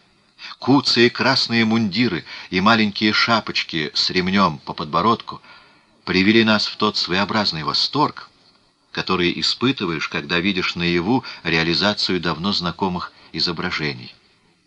Да и многое другое представилось нам точно таким, каким все английское представлялось нам при чтении английских книг и при разглядывании английских журналов, и это было необычайно приятно. Тогда Англией правила еще древняя королева Виктория, та самая королева, которая уже не первый год царила в 1846 году, когда мой отец посетил Англию. И это во многом способствовало сохранению всевозможных общественных навыков, тех самых навыков, что старались нам привить и наши английские гувернантки. Мне же они были хорошо знакомы по всему бытовому укладу моего зятя и моей сестры. А то, что в этой Англии уже в те последние викторианские годы многое начинало меняться, следуя закону времени, на поверхностный взгляд трудно было заметить. Весь строй жизни казался все таким же, каким он был при Беконсфильде и при Гладстоне. Нравы и обычаи такие же, как в дни Давида Копперфильда. Во многих кварталах Лондон все еще хранил тот облик, который он принял после пожара 1666 года. То был Лондон, в котором проживали Хогарт и Рейнольдс, Рёскин и прерафаэлиты, Свифт, Филдинг, Шеридан, Диккенс, Теккерей и еще многие из тех, кто нам казался окруженным каким-то ореолом особенного остроумия и превосходного вкуса. Лондонский пожар или Большой пожар, разразившийся в Сити в сентябре 1666 года, стал переломным в истории строительства города. Огонь, бушевавший два дня, уничтожил всю центральную часть Лондона. Проект восстановления Сити был разработан архитектором Реном 1632-1723. Однако коренная реконструкция проведена не была. Жителям разрешалось возводить дома на старых фундаментах при соблюдении правил, принятых парламентом. Новые кирпичные дома, отделанные белым камнем, имели окна одинаковых размеров, равномерно распределенные по всем этажам. Была установлена стандартная высота домов — 4 этажа для главных улиц, 3 для улиц поменьше и 2 этажа для переулков. Тогда и мы разделяли очень распространенное и вполне заслуженное убеждение, что только в Англии можно мужчинам хорошо одеваться. И вот почему Костя Сомов уже на следующее утро после нашего прибытия полетел на Олд Бонд-стрит и накупил себе на несколько фунтов галстуков и носков ассорти. Сказать, кстати, именно с этого путешествия мы заметили, что наш друг, бывший до того не меньшим неряхой, нежели я, начал со все растущим вниманием относиться к своему туалету, зорко следя за тем, что именно в Лондоне почитается за последнее повеление изящного вкуса. Я назвал тот пансион, в котором нас, Костю, Валечку, Женю и меня поселил Нурок, отвратительно грязным, и действительно он был таким. Грязными были комнаты и соединявшая все четыре этажа лестница, но особенно поразило нас нечистоплотностью отхожее место, помещавшееся где-то под чердаком и не имевшее водопровода. Последнее должно было нас особенно удивить. Это в Англии, в центре Лондона, на самой, можно сказать, родине ватер-клозета. Что снабженный водой нужник был английского происхождения, доказывало уже то, что у нас в России укромное местечко еще много лет после войны 1877 года и Берлинского конгресса называлось именем великого нашего обидчика Биконсфилда, а то и просто англичанином. Таким же грязным был слуга — Рубашка на нем была почти такого цвета, как его фрак. В свою очередь, посветлевшая от жирных и других пятен. И все же, находясь под тем же гипнозом англомании, мы оценили даже свой бординг. Он до полной иллюзии напоминал нам некоторые диккенсовские описания. Проживая в нем, мы сами себя могли вообразить какими-то возрожденными пиквикианцами, попавшими в давно знакомое место.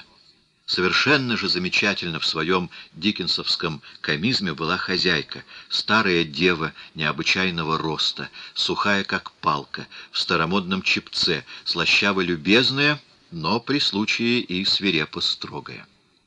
Не без умиления вспоминаю про наши пансионные вечерние симпозионы, на которые кроме нас четырех садилось еще человек шесть-семь мужчин и дам то были тоже своего рода ископаемые. Никто из них не говорил ни на одном иностранном языке, что не мешало им делать попытки заводить с нами разговор и делать вид, что они понимают нас, когда мы отвечали им какой-то смесью французского с немецким. По отсутствию практики я тогда совсем разучился говорить по-английски. Считая, что мы сказали что-то ужасно смешное, они разражались хохотом, тогда как мы ничего особенно веселого не старались выразить. И кормили нас из рук вон плохо, совсем как в некоторых романах Диккенса.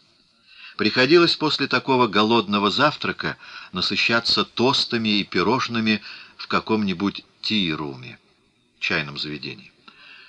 Впрочем, отведав раз настоящей английской кухни в одном баре в центре города, мы стали изменять нашему домашнему угощению. За удивительно низкую цену мы получали колоссальный кусок ростбифа с отварным картофелем и привкусный пай, начиненный крыжовником или рубарбом, ревенем. После такого пиршества у нас исчезло мужество проглатывать какие-то проблематические супы и что-то похожее на подошву вместо жаркого. К тому же было так весело, совсем по-английски кушать, сидя на высоких стульях, с тарелкой, стоящей на узком цинковом прилавке.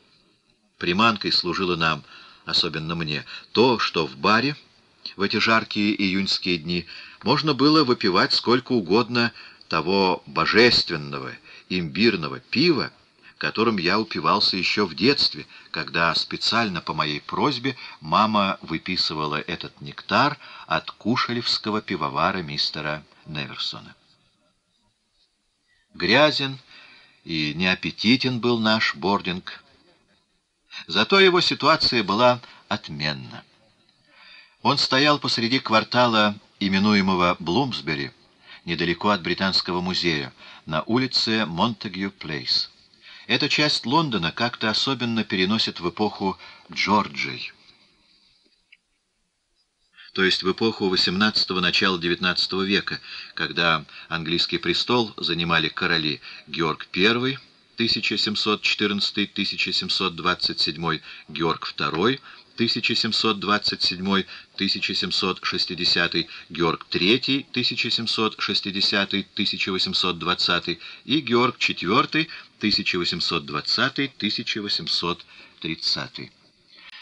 Дома в этих Рассел-сквер, Рассел-плейс, Монтегю-стрит и так далее невысокие и все почти одинаковые, с совершенно плоскими, ничем не украшенными фасадами. Площади здесь имеют всегда посреди сад, но этот сад всегда закрыт на замок, и проникнуть в него, кроме кошек, могут только те из жителей, обступающих площадь домов, кто имеет ключ к этому замку. Движение на этих улицах квартала самое ограниченное, и не видно лавок и магазинов. В общем, это совершенно обособленный мирок, побывав в котором хочется его снова посетить верный принятому правилу, Я и на сей раз воздержусь от того, чтобы рассказывать про все, что меня в Лондоне поразило в музеях, в Вестминстерском аббатстве, в соборе святого Павла и в других особо знаменитых местах. Скажу только, что в Национальной галерее я от одного восхищения переходил к другому. Действительно, нигде в мире как будто нет такого изысканного подбора картин, как здесь.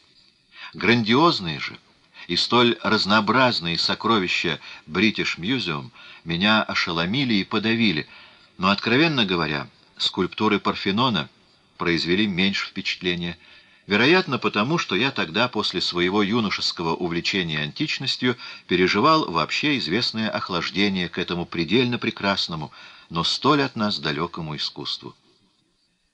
Несравненно более я был потрясен тем, что сохранилось от триумфального памятника Мавзола и от всего египетского отдела. На этих скомканных признаниях я и остановлю свой отчет о чисто художественных впечатлениях, полученных в 1899 году в Лондоне, но о двух впечатлениях, несколько иного и несколько смешанного порядка, я не могу умолчать. Как это ни странно, для такого пацифиста, каким я себя считаю, одно из этих воспоминаний носит определенно милитаристический характер.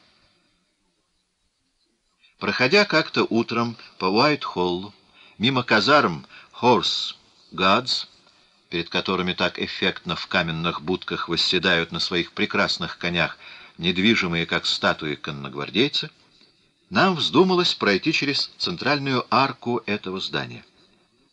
И вот, выйдя на обширную площадь, мы наткнулись на группу разношерстной публики, видимо, собравшуюся в ожидании чего-то особенно замечательного. И действительно, то, что мы тогда случайно сподобились увидеть, превзошло в своей курьезности всякие ожидания. За англичанами особенно в те времена, утвердилась слава, что они составляют наименее воинствующую нацию. Хоть и владела Англия доброй половиной мира, хоть эти владения достались ей не только пронырливостью и коварством дипломатов, но и применением, где нужно, военной силы. Общее мнение на континенте было, что в Англии армия в счет не идет, да чуть ли и не существует вовсе – в сравнении с другими государствами.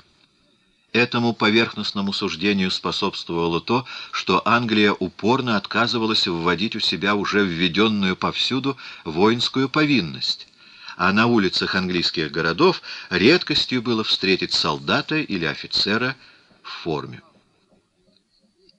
Тут же, на площади, за казармой Horse Guards, происходит чуть ли не каждый день одна из тех марсовых потех, которые свидетельствуют о каком-то культе военного дела. Эта церемония была проделана с таким пиететом, с такой безукоризненной точностью, что не оставалось сомнений в чрезвычайной убежденности всех действующих лиц в том, что они исполняют какой-то священный долг, что это ритуал не менее значительный, нежели те пышные и роскошные службы, посредством которых англиканская церковь и после расторжения с католичеством считает нужным выражать свое государственное верование. Changing Gods, смена караула и передача знамени, так эта сложная церемония называется. Лондонцы с ней хорошо знакомы и ценят ее, что доказывает та масса публики, которая изо дня в день собирается полюбоваться на нее. Я удивлялся, почему же до сих пор я от людей, побывавших в Лондоне, или от самих англичан, ничего о ней не слыхал. Пусть это не более как некий анахронизм, обломок культуры, которая в главных своих чертах уже отмерла. Этот парад все же сам по себе представляет как зрелище такой исключительный интерес. Он служит таким удивительным связующим звеном между нынешним и минувшим, между нашей тусклой современностью и тем прошлым, когда люди умели облачать те или иные принципы в наглядные и душу подымающие формы, что уже это одно заслуживало бы большего внимания, особенно со стороны тех, кто лишь на короткое время посещает Лондон и все же желает в эти несколько дней увидать самое в нем замечательное. И мы, если бы случайно тогда не пришли на разводную площадку, то и покинули бы Лондон, не подозревая, что пропустили спектакль куда более своеобразный и красивый, нежели все, что мы видели в театрах и мюзик-холлах. И чего же думал наш проводник Нурок, бравшийся все нам показать? Началось с того, что откуда-то слева появился под звуки шагающего оркестра с тамбур-мажором во главе и в предшествии офицера на коне довольно значительный отряд гренадеров в их красивых куртках и огромных меховых шапках. Почти одновременно с другой стороны появился навстречу первому другой подобный же отряд, тоже с оркестром, и, наконец, откуда-то взялась еще горстка шотландцев — в своих клетчатых юбочках и с полуголыми ногами. Эта горстка шагала под заунывное дудение большущих волынок. Все три партии проделали под непрерывное громыхание бравой музыки несколько маршей и контрмаршей, после чего вся масса солдат слилась и выстроилась в один безупречный фронт. Конные же и пешие офицеры подошли вплотную к казарме причем пешие стали приблизительно шагах в тридцати один от другого. Из гауптвахты было вынесено знамя, и вот когда часы забили на башне одиннадцать, произошла передача его под звуки «Боже, храни королеву». Слова английского государственного гимна. После этого музыка неожиданно заиграла арию из моцартовской свадьбы «Фигаро», а офицеры, держа сабли наголо у самого носа, отправились церемониальным шагом, высоко вскидывая ноги, вперед через всю площадь, каждый к своей части. Как известно, в воскресный день жизнь во всей Англии, не исключая Лондона, замирает и особенно это строгое повеление полного отдыха соблюдалось в те давнишние дни. И как раз последний день нашего пребывания в Лондоне был воскресеньем. Случилось еще так, что для меня этот обязательно скучный для всех день обещал быть особенно скучным. Накануне мы всей компанией были в Ковент-Гардене на спектакле «Тристана и Изольды», с участием обоих Решки и госпожи Мелба.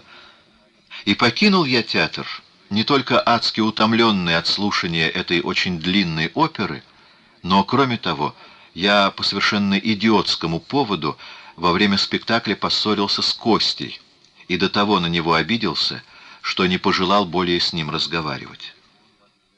А тут еще ночью случилось у меня очередное желудочное заболевание — которое в условиях нашего бординга было особенно неприятно. Все это так меня расстроило, что я решил провести день, не выходя из дому, тогда как другие разбрелись кто куда. О, сколь меланхоличны были часы этого утра, проведенные в моей неприглядной, грязноватой, чем-то странным пахнущей комнате, и в полном одиночестве при той мертвой тишине вокруг — которая воцаряется в Лондоне по воскресеньям и которая особенно тяжелой казалась в нашем квартале, где совсем прекратилось всякое движение. К довершению печали с половины дня эту тишину стали раздирать визгливые ноты шарманок или дикая трескотня механических роялей. Наконец я не выдержал и, вскочив с кровати, пустился в бегство — благо и желудок успокоился. Никакой определенной цели у меня не было. Я шел, куда глаза глядят, и дошел таким образом до Стрэнда. Там я застал иную картину. Правда, все лавки и магазины были наглухо закрыты, зато улица была полна всяких экипажей, среди коих лавировали кургузы и сплошь покрытые рекламами омнибусы. И тут оказалось, что провидение не зря заставило меня покинуть отель и пуститься в авантюру. Останься я в компании друзей, я бы провел последний день в Лондоне самый унылый, тогда как тут меня что-то толкнуло обратить внимание на переполненные людьми бусы и на те зазывы, которые выкрикивали стоявшие на задних площадках кондуктора. И как раз один такой громыхающий мастодонт, ковыляя, подъехал к самому тротуару, на котором я задержался. Мне в глаза бросилась приглашающая улыбка кондуктора, и у меня вдруг явилась решимость отведать той возможности, о которой кондуктор глашатый настойчиво вещал. Заметив мое колебание, он ловко подхватил меня, и не успел я опомниться, как уже я взбирался по внешней винтовой лесенке, ведущей на «Империал». Сразу за мной поднялся и он, а когда я назвал своей конечной станцией «Q», это название я прочел среди других на передке, то кондуктор решительно отсоветовал мне ограничиться сравнительно близкой дистанцией и прямо повелел проследовать до конца, до Хэмптон-Корта, где, по его словам, меня ожидала масса куда более интересных и невиданных вещей. Хэмптон-Корт — дворцово-парковый ансамбль близ Лондона — его строительство относится в основном к двум периодам. К первой четверти XVI века, времени английского возрождения, и к концу XVII века, когда архитектором Реном был создан один из наиболее значительных памятников раннего английского классицизма по грандиозности замысла и великолепию, родственный Версалю. Если я все это так живо и точно запомнил, то это потому, что я остался навсегда благодарен провидению и посреднику его омнибусному кондуктору. Дело в том, что полученные в тот день впечатления принадлежат к самым приятным среди столь многих мной испытанных. Начать с того, что с высоты своего империала я мог на все взирать, уподобляясь какому-то вознесенному триумфатору, и это как-то особенно веселило душу. А взирать было на что. Одни картины сменялись другими, а все вместе составляло нечто удивительное, интересное и типичное. Вот в какой-то узковатой улице, еще в пределах Лондона, но уже на отлете, получился минут на пять затор, заставивший наш бус задержаться. И как раз тут, у самых наших колес, происходила манифестация армии спасения. Люди в уродливых куцах мундирах и дамы в старомодных шляпках шли гурьбой, следуя за духовым оркестром, игравшим ужасную неразбериху, каждый инструмент во что гораст. Оратор, взобравшись на дроги, запряженные в одну лошадь, неистово выкрикивал приглашение жертвовать на благотворительные цели этой армии добра. Как раз за год до того нам, Сатий, выдался в Париже случай присутствовать на конференции знаменитого предводителя всего этого мирного воинства генерала Бутса. Почтенный седобородый старец говорил в битком набитом зале географического общества. Говорил он по-английски и как будто импровизировал, лишь изредка заглядывая в лежавшие перед ним бумажки с цифрами. Говорил же он о всяких видах нужды, и до каких колоссальных размеров дошла организованная им во всем мире помощь армии спасения. Фразу за фразой эту очень простую, но и удивительно внушительную речь тут же сразу переводил на французский язык, без малейшей запинки, рядом с генералом стоявший офицер. Речь же Бутса была до того убедительна, что и моя Атя, и обе княгини — не только выложили в обносимые кружки все содержимое своих кошельков, а у Марии Клавдиевны могло лежать в портмоне не один десяток луидоров, но даже заговорили о том, не поступить ли им всем троим в состав войска почтенного генерала. Дамы в шляпочках визгливо и тоже без всякого лада пели что-то вроде духовных песен — а несколько молодцов, подходя вплотную к домам, протягивали к окнам верхних этажей длиннейшие шесты с кошелями. А вот уже наш бус громыхает по горбатому мосту Ричмонда, откуда открывается один из знаменитейших пейзажей Англии. Пронеслась эта утопающая в густой зелени картина с блистающей на солнце рекой, а там замелькал Твикенхэм, видавший последние дни короля Луи Филиппа, и всякие старомодно-нарядные коттеджи. Местность все расширялась, становясь более привольной, более деревенской и все более похожей на те классические английские декорации, среди которых в детских книжках Кетты Гриневей и Кальдекотта гуляют и возятся прелестно одетые девочки или же скачут в красных фраках ретивые охотники. И вдруг полная перемена. Наш дилижанс и вместе с ним сотни, если не тысячи других экипажей, оказался уже катящим по прямой аллее, столь длинной, что конец ее еле мерещился в послеобеденной дымке. По сторонам аллеи тесным рядом выстроились высокие густые каштаны, усеянные мириадами цветов. Под деревьями шествовала густая масса пешего, по-воскресному разряженного люда. Зрелище было куда более занимательным, нежели то гуляние, что происходит ежедневно на знаменитой Роттенроу в Гайд-парке. Впрочем, здесь, на аллее, ведущей к замку Хэмптон-Корт, общий характер гуляния не носил определенного характера high life а, высшего общества. Здесь были представлены все слои общества.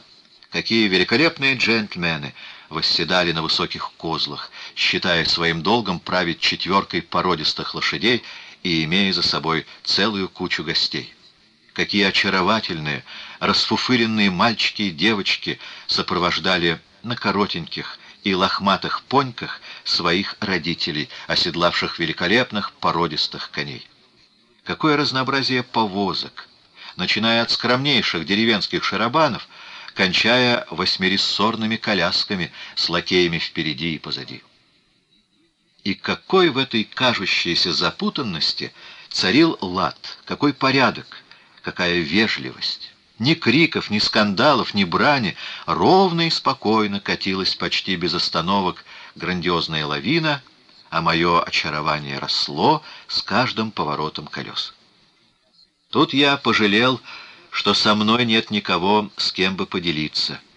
И больше всего пожалел я, что со мной нет моей подруги жизни, у которой я всегда встречал в подобных случаях полный отклик.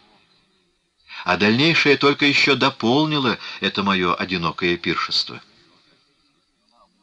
Все в самом замке Хэмптон-Корт оказалось столь же неожиданным и замечательным, столь же потрафляющим моим вкусом.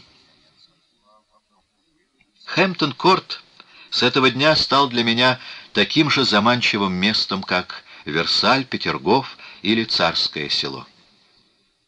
Здесь стоят спаянные в одно целое две грандиозные затеи былых времен.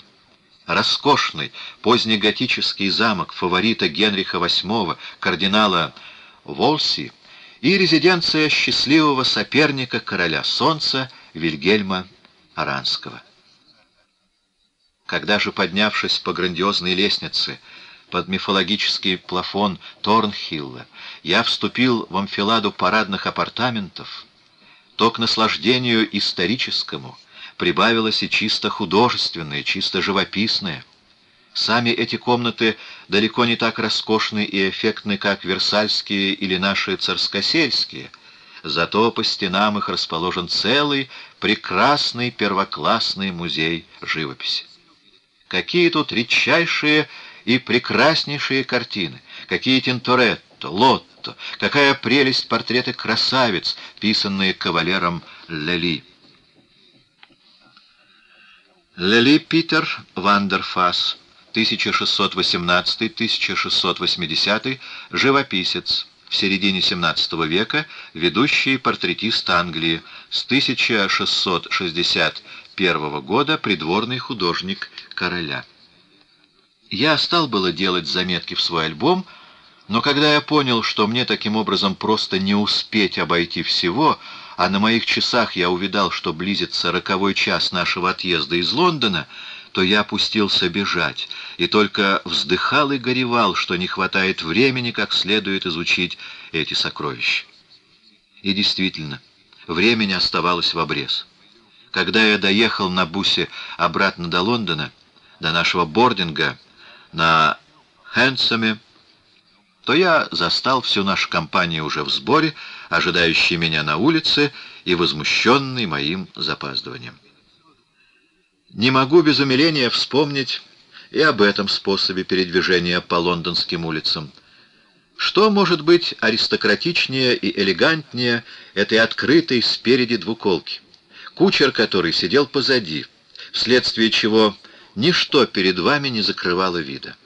Такие извозчичьи экипажи назывались «хэнсом», в отличие от простых наемных кареток, подобных тем, что обслуживали парижан и вообще жителей всех больших городов на континенте.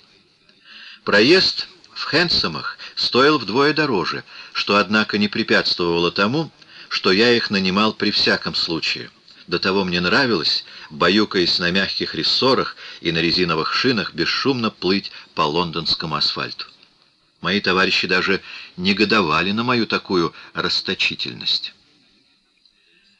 Непонятно, как я еще успел уложить свои вещи, бросая их как попало в два своих чемодана, на ходу расплачиваясь с хозяйкой и суя на чай мальчишки-итальяшки.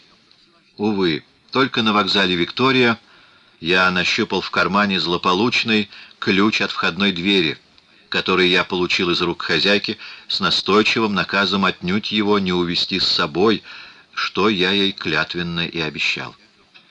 В Саутхэмптон мы прибывали уже в темноту и сразу с поезда погрузились на пароход.